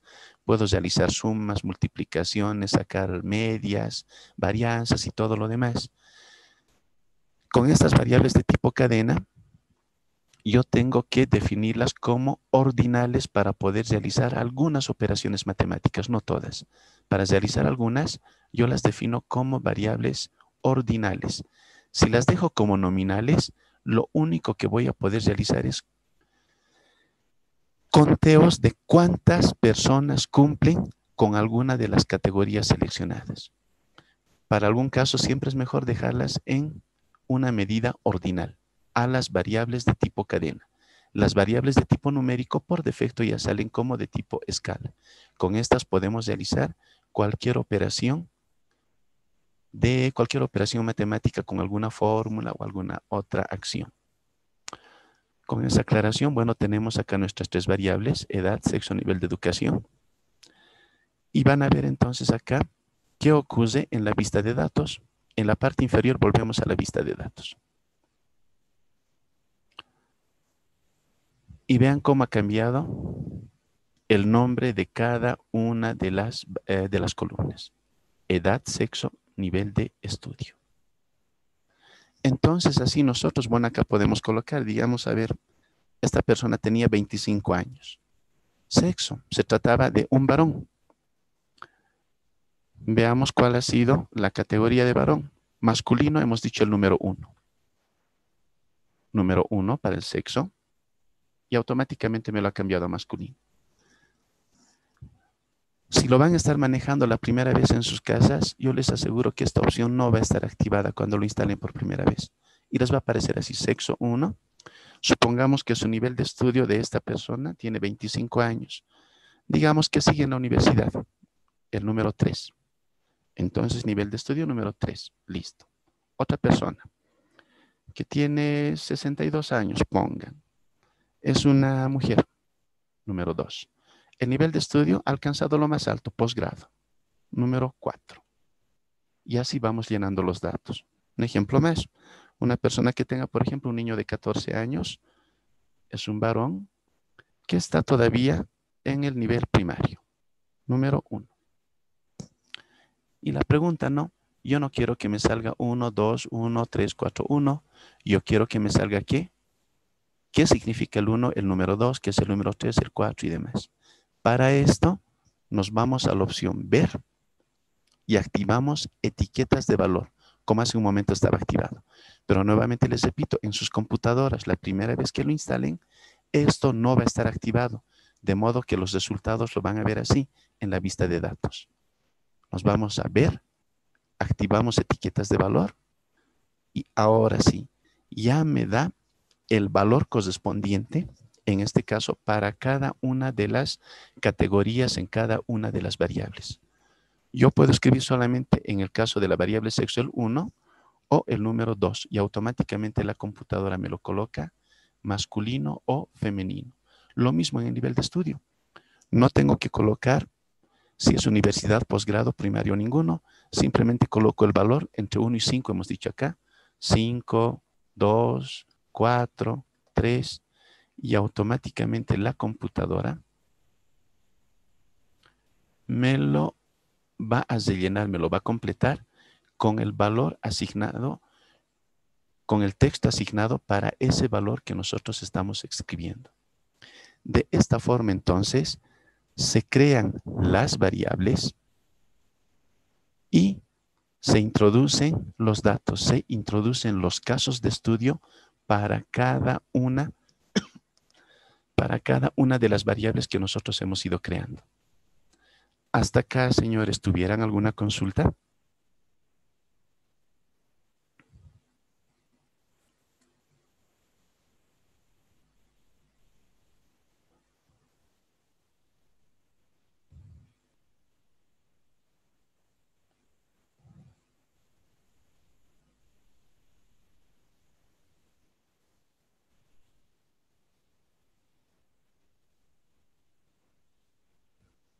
Revisamos el grupo. Mm, ya, me parece que está nomás todo claro, ¿no? A ver, acá el chat supongo que se ha habilitado. Sí, por ahora no hay dudas. Ya bueno. Entonces, continuamos. De esta forma, entonces, estamos cumpliendo con lo que nos creamos en la presentación, ¿no? Hemos creado variables. Hemos aprendido primeramente a crear variables y segundo, a introducir datos que es lo más básico para poder manejar el SPSS. Ya sabemos cómo crear una variable y cómo introducir los datos de cada uno de los casos de estudio con los cuales nosotros estamos trabajando. Para poder realizar estas otras cuatro tareas, vamos a utilizar ya un archivo que ya tiene datos, porque con los cuatro o cinco datos de ejemplos que nos hemos colocado, no vamos a poder realizar un análisis de frecuencias, por ejemplo, bastante completo. Entonces vamos a trabajar ahora. Ah, bueno, y lo más importante, ¿no? Al igual que en el Excel, grabar nuestros resultados, grabar nuestros datos. Y acá tenemos un disquete, el icono que me sirve para poder grabar. Hago clic acá y la primera vez siempre me va a decir dónde quiero grabarlo. A ver, lo voy a grabar en el escritorio y lo voy a colocar el nombre de ejemplo de presentación. No se olviden, siempre es importante grabar sus datos, grabar los datos con los cuales están trabajando. ¿Para qué? Para no perder la información con la cual hasta ese momento han ido introduciendo a la computadora. De esa forma grabamos los datos. Ya, trabajemos entonces ahora con este otro archivo. Miren, tenemos igual tres variables nada más. En cada una de las variables tenemos diferentes categorías, tenemos las edades de diferentes personas. Veamos a ver acá cuántas son. Vamos a ir al final. Tenemos los casos de, los, tenemos los datos de 4.383 casos de estudio. 4.383 personas han participado de este estudio, entre varones y mujeres, y cada una nos ha indicado si es divorciado, si es concubino, casado y demás, su estado civil. Para poder saber hasta acá, por ejemplo, cuántas personas son, es fácil, ¿no? Me voy al final de la lista y digo, sencillo, son 4.383. Pero ¿cuándo se complica? Por ejemplo, yo quiero saber en total cuántas mujeres y varones han respondido a este cuestionario. Yo quiero saber cuántas mujeres son divorciadas, cuántos varones tienen el estado civil de concubino. Ya se complica, ¿verdad? No voy a ir contando, a ver, aquí hay un varón, dos varones, tres, cuatro, cinco, uno por uno. ¿Cuándo terminaría? Son más de cuatro mil datos. Para eso, entonces, nosotros, primeramente, hemos creado las variables, nuestras tres variables. Siguiente paso, se han introducido los datos uno por uno. Aquí sí, uno por uno debemos introducir. No hay una forma que yo haga un copiar y pegar y ya va a estar introducido, no. Aunque lo hagan en Excel, lo hagan en el SPSS, tienen que ir pasando los datos uno por uno a la computadora. O a menos que ustedes hayan realizado una encuesta digital que hoy en día está tan de moda manejar, por ejemplo, el Google Formularios, y de ahí sí pueden copiar y pegar, de modo que cada una de las personas lleve introducido sus, sus propios datos. Pero si los realizan en papel, del papel a la computadora tienen que ir copiando uno por uno cada uno de los datos que ustedes han ido recolectando. Entonces, eso hemos hecho. Hemos creado la variable edad, la variable sexo, la variable estado civil. En este caso es civil. Hemos colocado un nombre bastante corto, abreviado, si es posible el término decirlo, aunque no es la forma correcta de abreviar estado, ¿no? Pero es civil. Para que yo pueda tener una descripción mucho más amplia de este nombre de la variable, para eso se utiliza la columna etiqueta. Miren, yo voy a utilizar para esto. Estado civil de la persona. Y fíjense acá, estoy utilizando espacios en blanco. Es más, voy a colocar más edad, por ejemplo. Hemos dicho que el nombre de más, el símbolo más, espacios en blanco, no se pueden utilizar en el nombre de una persona, en el nombre de una variable, pero en la etiqueta sí se puede. En la etiqueta podemos colocar cualquier símbolo. Podemos colocar, por ejemplo, entre comillas, entre comillas que esté edad podemos decir que persona está entre paréntesis y pueden colocar cualquier símbolo que se les ocurra. En etiqueta no hay restricciones, pero en el nombre de la variable sí hemos dicho que tenemos varias restricciones. No podemos colocar espacios en blanco, símbolos especiales como son paréntesis, signos de aritméticos, algunos signos de puntuación, estas comillas y demás. Eso no podemos colocar en el nombre de la variable. Pero en la etiqueta hemos visto que se puede colocar lo que nosotros queramos. Para eso me sirve entonces a mí la columna etiqueta. La columna etiqueta, como verán, es opcional. Bien pueden colocarlo o bien, como en estos casos, no pueden colocar nada y dejarlo así en blanco. No hay problema con eso. Veamos qué más. Veamos los valores para la variable sexo, cómo se han definido. Ingresamos acá y efectivamente uno para masculino, dos para femenino. Así se está trabajando en esta investigación. Veamos en los valores para el estado civil. ¿Qué categorías tiene?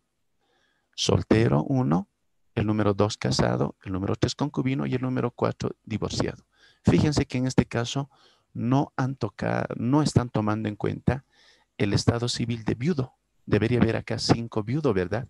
Pero por alguna razón, para esta investigación, solamente están trabajando solteros, casados, concubinos y divorciados. No están tomando en cuenta a las personas que son viudas. Por algunas razones que el investigador se ha definido, está trabajando de esta manera. Nosotros no podemos cambiar nada acá. ¿Por qué? Porque los datos ya están aquí de esta manera. Ya han sido pasados a la computadora. Muy bien, entonces, de acuerdo a la presentación, al listado de tareas que nosotros teníamos, ya se han creado las variables, ya se han introducido los datos. Comencemos a realizar nuestro primer análisis de frecuencias. Y nuevamente acá se deben estar rascando las cabezas. ¿Cómo nosotros nos acordamos de estadística que hemos hecho? Todo un dolor de cabeza. ¿Para qué? Para poder sacar una simple tablita que me da a mí el análisis de la frecuencia, ya sea de la variable edad, de la variable sexo o de la variable estado civil. Pues aquí, señores, señoritas, en el SPSS realizar el análisis de frecuencias es bastante sencillo. Fíjense qué vamos a hacer. Nos vamos al menú, a la opción analizar. Dentro de analizar nosotros vamos a ingresar a estadísticos descriptivos. ¿Y qué vamos a utilizar? Frecuencias. Vamos a sacar nuestro primer análisis estadístico un análisis de frecuencias. En este cuadro de diálogo que están viendo en pantalla, ¿qué es lo que me está pidiendo? Me está diciendo, ¿de cuál de estas tres variables quieres sacar la tabla de frecuencias? Eso me está preguntando acá. Para que yo, si por ejemplo quiero de la variable sexo, solamente la tengo que llevar a este recuadro en blanco donde dice variables. Puedo hacer un clic acá en esta flecha que está al medio o puedo arrastrar con el mouse la variable y soltarla acá. Con cualquiera de los casos. Miren, digamos quiero estado civil. Con un clic se va acá y con un clic también vuelve acá. O la llevo con el mouse o la llevo con la flechita. Lo dejaremos así, sexo. Veamos qué ocurre con esto. Mostrar tabla de frecuencias, dejamos activado y nada más. Aceptar. Y vean qué va a ocurrir en sus pantallas inmediatamente se les va a presentar la ventana de resultados. Y aquí está, me dice frecuencias. Esto es lo que internamente ha ocurrido de este conjunto de datos. Los estadísticos, bueno, me dice que en total son válidos. Ha tomado en cuenta 4.383 casos de estudio. Ninguno se ha perdido, cero perdidos. Y con esos 4.383 datos ha sacado esta tabla de frecuencias de la variable sexo.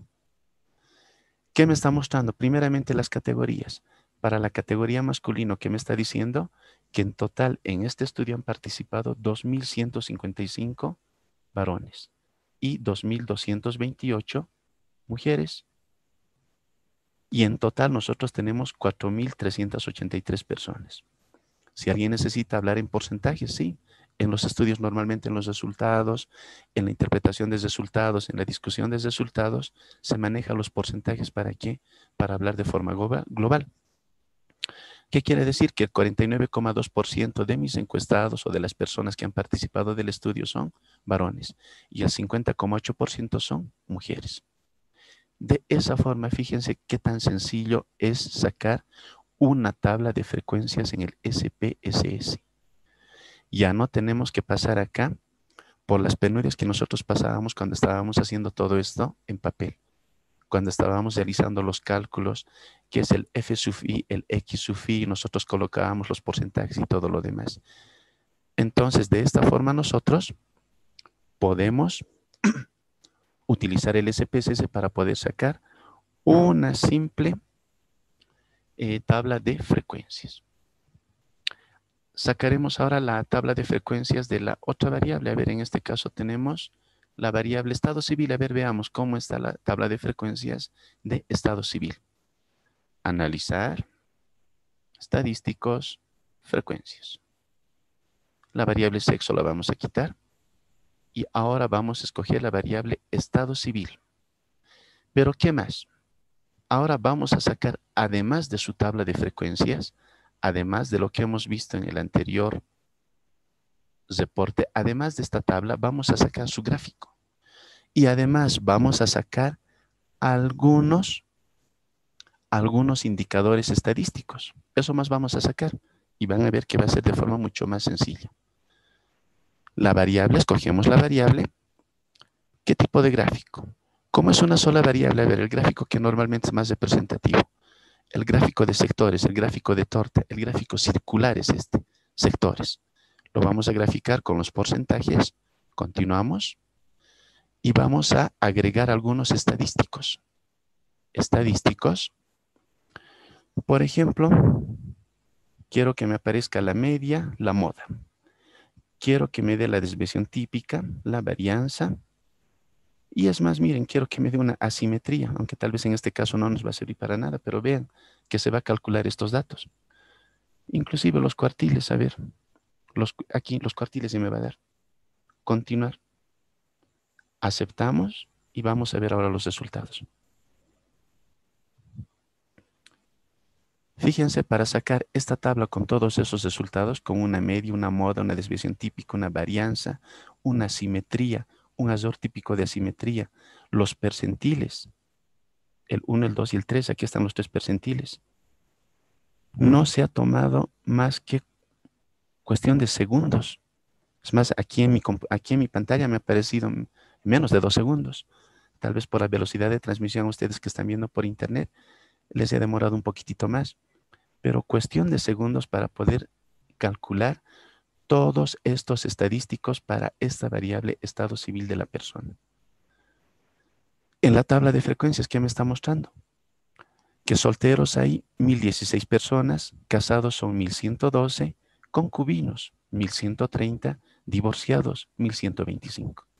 En total, 4383 personas. En porcentajes también, el 25,7% de todas las personas que han participado de esta investigación son divorciadas. El 23,2% son solteros. Alguien dirá, pero yo quiero verlo gráficamente. Pues aquí está el gráfico. Cada una de las partes, cada uno de los colores representa a cada una de las categorías de la variable estado civil de la persona. Pero tienes razón, este gráfico está incompleto. No tengo los valores para cada una de las partes. Y es más, en Excel me muestra mucho más bonito, ¿no? Un gráfico tridimensional con las partes separadas. Aquí no, este gráfico muy antiguo. Veamos si podemos hacer algo para poder imitar en algo a lo que se puede hacer en Excel. Voy a editar el gráfico. Fíjense este mensaje que me dice. Haga doble clic para activar. Voy a hacer doble clic adentro del gráfico. Espero un momento y ya está en pantalla me ha aparecido otra ventana con el mismo gráfico y el gráfico que estoy editando, fíjense, está con un color sombreado. A este gráfico, ¿qué le vamos a decir? Primeramente, fíjense este botoncito. Desgajar sector me indica. Le vamos a dividir. Un clic acá. Ya está dividido en partes. Vamos a colocar los valores con este botón. Mostrar etiquetas de datos ya están los valores para cada una de las partes. En esta ventana que les aparece acá en el lado derecho, este cuadro de diálogo, pueden colocarlo, por ejemplo, los valores fuera del gráfico, aplicar, y están afuera. O pueden querer que esté adentro nomás como estaba al principio. Depende de cada uno de ustedes. Ya depende de cómo quieren presentar sus resultados. ¿Qué más? Quiero cambiar los colores. Aquí me voy a relleno y borde, por ejemplo, he hecho un clic en una de las partes, pero fíjense, está con amarillo todas las partes, de modo que cualquier cambio que haga se va a aplicar a todas las partes. Fíjense, a lo voy a colocar naranja. Aplicar. Y los cuatro se ha colocado con un borde naranja. Entonces, no, nosotros queremos cambiar el relleno. Ahora sí, miren, fíjense, solamente con el relleno azul estoy trabajando. Lo voy a colocar para que vean el cambio. Un relleno rojo. Este verde no quiero que sea, ya, ya no quiero que sea verde. Por ejemplo, a ver este color lila más bajito, aplicar. Y así puedo ir personalizando mi gráfico de acuerdo a cómo ustedes quieran tener su gráfico final. Ahora, yo quiero que el gráfico esté en formato tridimensional. Doble clic en el gráfico. Y aquí voy a, a la opción que dice profundidad y ángulo. Le digo que es un gráfico 3D. Aplicamos. A ver, variaremos un poco estos ángulos. Aplicar. Y vean cómo nosotros podemos jugarnos con estos valores y tener el gráfico de acuerdo o con las características que ustedes deseen. Ya depende de cada uno cómo quiera presentar su gráfico. Pero lo más importante, el gráfico tiene que tener cada uno de estos valores presentes en el gráfico. Si el gráfico no tiene estos valores, por mucho que esté separado, que tenga unos colores vistosos, el gráfico no sirve. El gráfico tiene que tener los valores para cada una de las partes. Si, e, si, si tiene todas esas partes, el gráfico, por supuesto, está completo. Y para poder pasarlo a, un, a su documento donde están elaborando su trabajo de investigación, bueno, utilizamos nosotros el procesador de texto para realizar eso. Pues todo es tan simple como un copiar y pegar. Primeramente la tabla. Si quieren trabajar con la tabla, botón derecho copiar. Copiamos la tabla y nos vamos al documento de Word, botón derecho, pegar. Listo. Si quieren el gráfico más, por supuesto que pueden hacerlo. En el gráfico, botón derecho, copiar. Y en su documento de Word, botón derecho, pegar. Y ya tienen también su gráfico y su respectiva tabla. De esta forma pueden pasar sus resultados al documento donde está todo su trabajo de investigación. A continuación realizan la interpretación del gráfico o de la tabla, de los valores que aparecen y todo lo demás. Eso, pero ya es un trabajo más propio de la investigación, ¿no? Es redactar los resultados de cada un, el redactar la interpretación de los resultados que están obteniendo haciendo uso de una herramienta informática. Nuevamente volvemos al principio, ¿no? Tenemos los datos, los agrupamos, en este caso hemos agrupado edad, sexo, estado civil, lo hemos convertido en información y ahora estamos teniendo nosotros resultados. Y con estos resultados vamos a llegar a tomar decisiones. Vamos a decir qué está ocurriendo y en base a esto nosotros vamos a decir qué es lo que podemos hacer para poder plantear alguna solución si vemos que está pasando algo malo con estos resultados que estamos presentando. Continuemos a ver. Tenemos estas dos tablas. Por un lado, estado civil de la persona y por otro lado, la tabla de sexo. Voy a sacar la frecuencia de las dos al mismo tiempo para que las tengamos acá. A ver, analizar estadísticos, frecuencias, para que veamos el siguiente ejemplo. Edad y sexo. Voy a utilizar estas dos variables.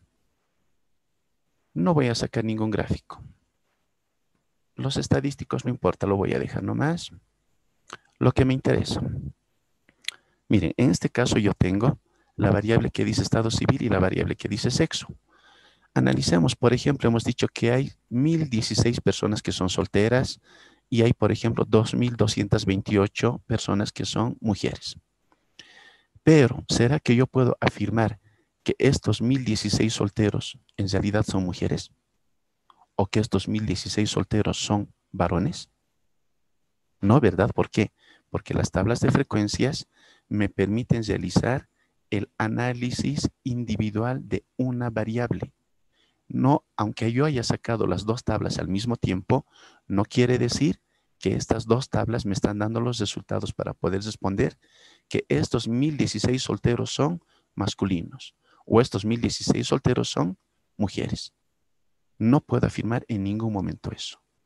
Para eso yo tengo que realizar el cruce de variables. ¿Cómo se hace eso? Vamos a cruzar la variable estado civil de la persona con la variable sexo para saber, por ejemplo, cuántas mujeres son solteras y cuántas mujeres son casadas. A ver, vamos a ver eso. Nos vamos a analizar. Eh, acá, bueno, para que no se confundan ya, pueden utilizar el menú de la vista de resultados o el menú de la vista de los datos o variables. Es el mismo. Miren, están las mismas opciones. Entonces, por comodidad, yo directamente trabajo ya acá con los resultados para poder sacar cualquiera de las opciones. Entonces, en este caso, vamos a utilizar en este caso, mm, analizar los estadísticos, a ver, las tablas personalizadas. En esta ventana que nosotros tenemos, ¿qué podemos hacer? Vamos a cruzar diferentes variables. En este caso, como ejemplo, vamos a utilizar solo estas dos variables, sexo y estado civil. La variable sexo la voy a colocar en columnas. Fíjense, lo estoy soltando encima de la palabra columnas. Y la variable estado civil lo voy a soltar encima de filas. Así se están cruzando las variables. También pueden realizar otro cruce de esta forma. Estado civil lo pueden colocar aquí, miren, encima de columnas. Estado civil y la variable sexo sí están siendo cruzadas. Pero no ocurre eso si ustedes colocan la variable al lado de la otra. En este caso, estado civil con sexo en columnas no están cruzando, porque una está al lado de la otra. Cuando la, colocamos en columnas, una siempre tiene que estar encima de la otra o una debajo de la otra. De esa forma se hace el cruce de variables en columnas. Lo mismo ocurre en filas. En filas es al contrario. Para yo poder tener el cruce de variables en filas, no puedo colocar las variables una encima de la otra, lo que no ocurría en columnas. En filas no se están cruzando las variables. En filas tienen que estar una al lado de la otra para que éstas se vayan cruzando. Es lo contrario, nuevamente les repito, de lo que ocurre en columnas. En columnas hemos dicho que las variables tienen que estar una encima de la otra. Recién se están cruzando. Pero si colocamos en columnas una al lado de la otra, no están cruzando las variables. Eso tienen que tener en cuenta cuando estén cruzando más de dos variables. Si son dos variables es fácil. Una lo colocan en columnas y otra lo colocan en filas. Y ya tenemos el cruce de variables. Pongamos aceptar. Y acá tenemos la tabla resultante. Fíjense, hemos dicho, queremos saber cuántas mujeres solteras y cuántas mujeres casadas. En total hay 498 mujeres solteras y 557 mujeres casadas. Para eso me permite a mí este tipo de deportes, eso me permite responder cruce de variables, dar respuesta a una pregunta que involucra más de una variable. Con tablas de frecuencias, ese tipo de respuestas no puedo dar. No puedo decir que de estos 1016 solteros, todos son mujeres o todos son varones. No. Tengo que cruzar las variables para poder dar ese tipo de respuesta. 498 mujeres solteras y 557 mujeres casadas.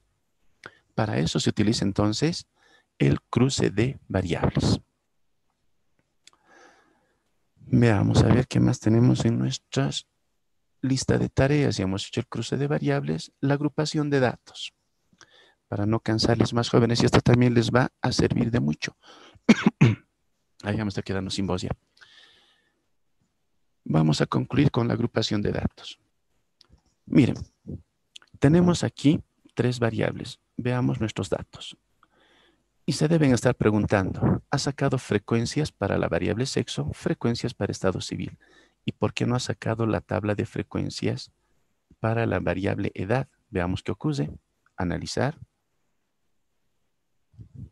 Analizar estadísticos frecuencias. En este caso no necesitamos esta variable, no necesitamos esta variable. La variable edad. Y saquemos su tabla de frecuencias, es más, su gráfico más, vean, a ver qué va a ocurrir con su gráfico de sectores. Veamos qué vamos a tener de resultados. La tabla edad. Por supuesto, hay diferentes edades.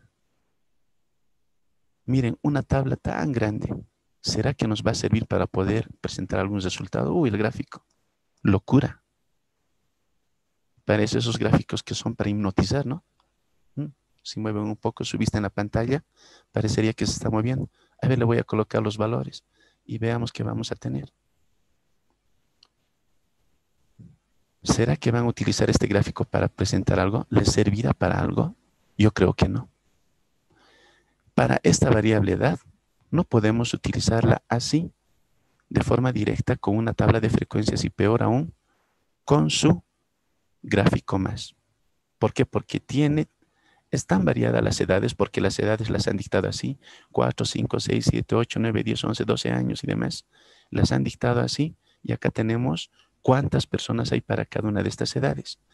Lo mejor que se puede hacer en este caso es agrupar. Si bien es bastante recomendable recolectar la edad de todas las personas así de forma directa, la edad exacta de cada uno de ellos, pero para presentar los resultados lo mejor es agrupar estos valores en diferentes grupos etarios, en diferentes intervalos de edad. Entonces nosotros nos vamos a definir esos grupos etarios. Y justamente acá en el Excel, miren, acá tengo los grupos etarios. Lo vamos a agrupar esa variable edad de esta forma. Menores de 10 años, de 10 a 20, de 21 a 35, de 36 a 50 y mayores de 50. Yo quiero saber cuántas personas hay en cada uno de estos intervalos. Y más aún, todavía podemos decir con el cruce de variables, cuántas mujeres hay en este rango, cuántos varones en este rango, cuántos casados en este rango. Eso vamos a hacer con el cruce de variables. Primeramente, entonces, tenemos que agrupar estos datos de acuerdo a estos intervalos que me están dando. Yo me he definido estos intervalos. El investigador se define los intervalos para poder realizar la agrupación. Esto no está definido de forma ya de forma predeterminada, sino cada uno de ustedes se define estos intervalos. Hagamos eso. Entonces, ¿qué vamos a utilizar ahora? Nosotros nos vamos a ir a la opción de transformar. Dentro de transformar vamos a escoger la opción que dice agrupación visual. Ingresamos acá. ¿Con qué variable vamos a trabajar? Justamente con la variable edad, una variable numérica. Continuamos. Listo. Primeramente, ¿qué tenemos que colocar? Acá, fíjense, me dice variable agrupada. En esta nueva ventanita que me está apareciendo, variable actual, edad, sí, vamos a trabajar con esa. Y variable agrupada, ¿qué se va a llamar mi variable de resultados? A ver, por ejemplo, edades, que se llame edades mi variable agrupada. O que se llame grupos, guion bajo, edades. Etiqueta no le vamos a colocar nada, vamos a usar esta etiqueta. Mi variable agrupada se va a llamar grupos edades. Listo. Siguiente paso, ¿qué tenemos que hacer? Hemos colocado el nombre de la variable y le hemos bozado la etiqueta. Siguiente paso, tenemos que crear los puntos de corte. Entonces, para esto nos vamos a crear puntos de corte. Posición del primer punto de corte. ¿A qué se refiere esto? Para esto es importante que en cada uno de los intervalos ustedes identifiquen el límite superior para cada intervalo. ¿A qué se refiere? Por ejemplo, ¿quiénes son menores de 10 años? Una persona que tiene un año, que tiene dos años, que tiene tres años, que tiene cuatro, cinco, seis, siete. Hasta una persona que tiene nueve años, por ejemplo, una persona que tiene 10 años, ¿será menor de 10 años? No, ¿verdad? Esta persona que tiene 10 años, no, ya no cumple con esta condición menor de 10 años. ¿Cuál es el último que cumple? Una persona que tiene 9 años. Por tanto, el límite superior es el último valor de ese intervalo, en este caso, 9. En el siguiente caso, de 10 a 20 años, ¿Quiénes tienen de 10 a 20 años? Por supuesto, una persona que tiene 10 años, 11 años, 12, 13, 14 años. Una persona que tiene 19, sí. Veamos el último caso, 20 años. Una persona que tiene 20 años, ¿estará comprendida en el intervalo de 10 a 20 años? Sí, está comprendida, por supuesto, exacto. Exactamente dice de 10 a 20 años, no dice menores de 20 años. Por tanto, en este caso, el último valor no va a ser 19, el último valor va a ser 20.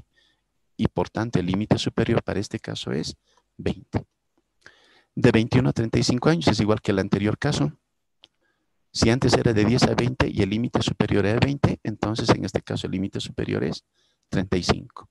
De 36 a 50, ¿cuál es el límite superior? 50 años. Y en este caso, mayores de 50 años, ¿cuál será su límite superior? puede ser 90, 100, 200, bueno, no va a haber alguien de 200 años, ¿no? Pero cualquier persona que esté o que tenga, que tenga mayor a 50. Ese va a ser su límite superior. Es importante identificar estos valores. ¿Dónde los vamos a utilizar? Volvemos al SPSS. Estamos creando nuevamente en esta ventana, hemos dicho, vamos a crear los puntos de corte. ¿Qué me está pidiendo? Posición del primer punto de corte. ¿Qué me dice esto? Me está pidiendo el primer límite superior del primer intervalo. Eso me está pidiendo. Como ya hemos identificado, veamos cuál era. Este primer valor. Este 9 me está pidiendo primer límite superior del primer intervalo. 9. Le colocamos 9. Listo. Número de puntos de corte. ¿A qué se refiere con esto? Me está preguntando cuántos intervalos yo quiero crear. Veamos. Tenemos un intervalo, 2, 3, 4, 5. Pero la computadora automáticamente ya ha creado el último. Por defecto ya lo ha creado.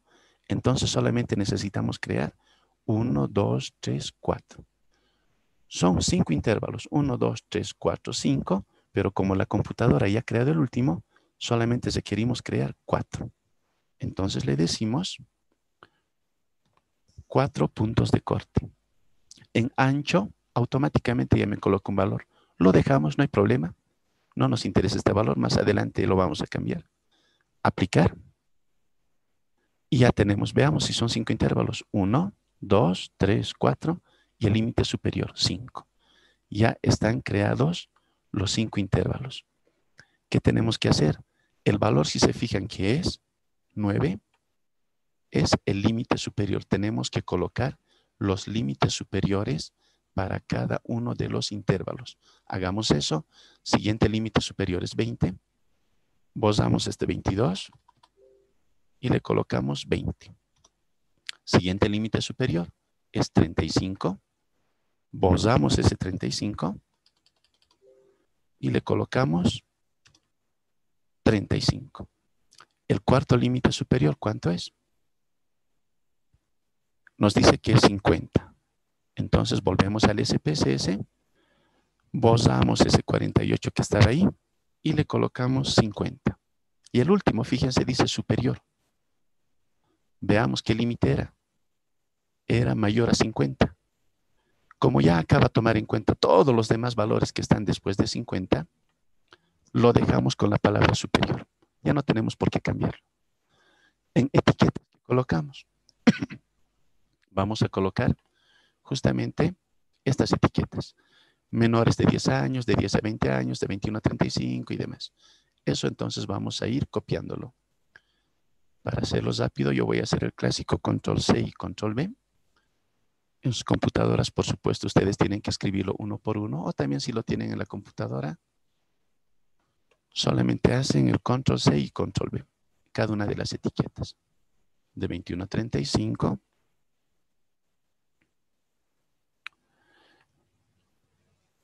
De 36 a 50.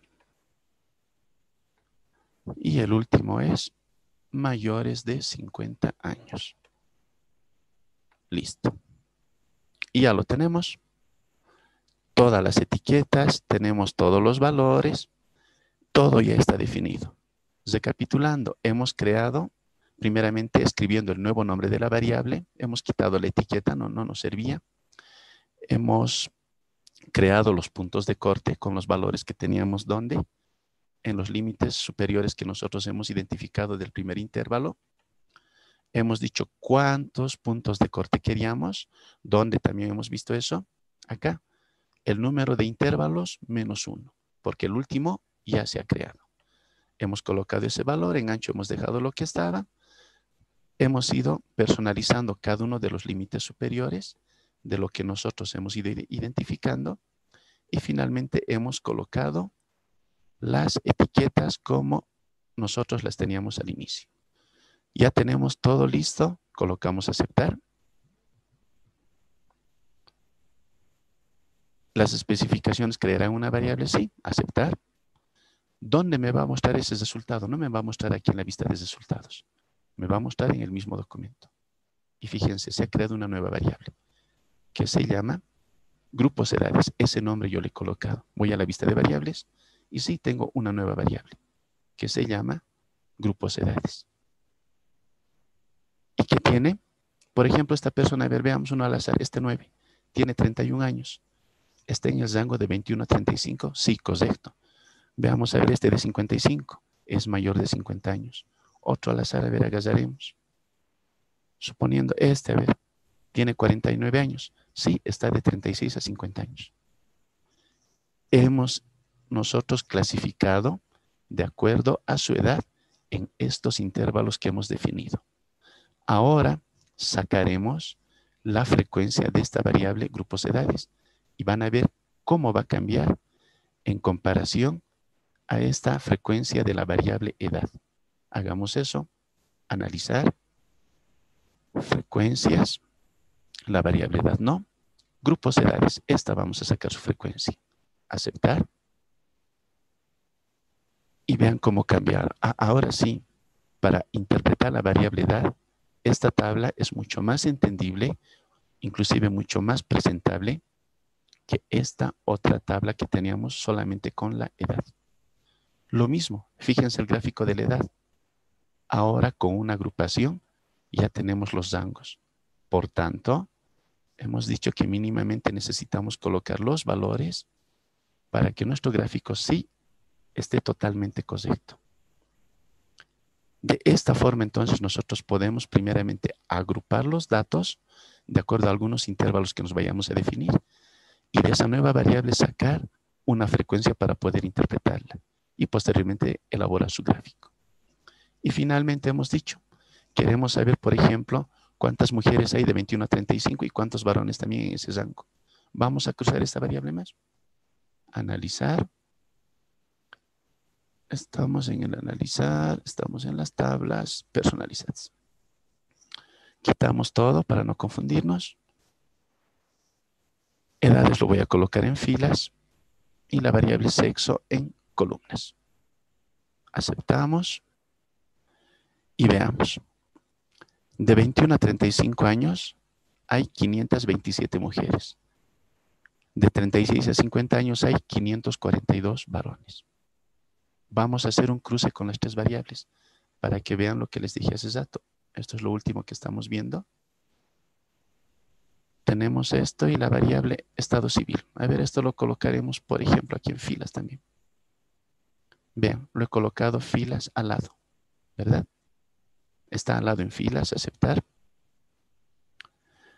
Veamos, en cuanto a los casados, estado civil casados. De 21 a 35 años hay 121 varones y mujeres son 138 mujeres de 21 a 35 que están casadas. Un cruce de variables con la variable sexo, variable de grupo de edades y variable estado civil. De esta forma entonces nosotros podemos utilizar las opciones que tiene el SPSS. Por supuesto que como ustedes han visto, el SPSS tiene miles de opciones, si vale el término decirlo así, diferentes informes, tiene diferentes formas de crear o realizar diferentes actividades. Vean, tiene diferentes tablas, modelos mixtos, correlaciones que se puede realizar. Hay diferentes cosas que se pueden realizar acá en el SPSS. Lo que estamos viendo es prácticamente una pincelada de todo lo que nosotros podemos hacer con el SPSS. Eh, con una clase de una hora, hora y media para poder ver el SPSS, por supuesto que es bastante insuficiente, ¿no? Es más, no sé si exista alguien que pueda manejar el SPSS a un 100%, porque normalmente todos lo utilizamos de acuerdo a lo que nos va a servir, de acuerdo a lo que nosotros necesitamos ir respondiendo o de acuerdo a lo que nosotros necesitamos ir interpretando no siempre le damos un uso completo a todas las herramientas que nosotros vamos utilizando. Y bueno, distinguidos jóvenes, distinguidas señoritas, con esto yo culminaría mi presentación. Eh, muchísimas gracias por a todos ustedes. Si tienen alguna duda, me pueden escribir acá al WhatsApp, al, número de celular que tengo acá, o también al correo electrónico, ¿no? Y por supuesto, estoy presto a resolver cualquier duda que tengan ustedes y me despido con esta imagen acá de mi ciudad. Como verán, no he encontrado el nombre del artista que ha pintado esto, pero de fondo se muestra una imagen bastante antigua del seso zico y al lado está el seso, chico. un suceso que tiene bastante historia en cuanto a la explotación de la plata que se ha dado en nuestra ciudad. Muchísimas gracias. No, agradecerle a usted, dicen, por la ponencia que dio eh, a nombre de los organizadores, Sosemed Guatefe, Sosemed Cuenca, Sosemed Uninúñez, ¿no? Por tan linda ponencia que nos realizó y esperemos que no sea la única vez que nos pueda seguir dando las charlas. Y a todos los asistentes, recalcarles que se mandará el link de asistencia para que puedan llenar. sin ninguna otra duda más, dicen muchas gracias, reiterarles.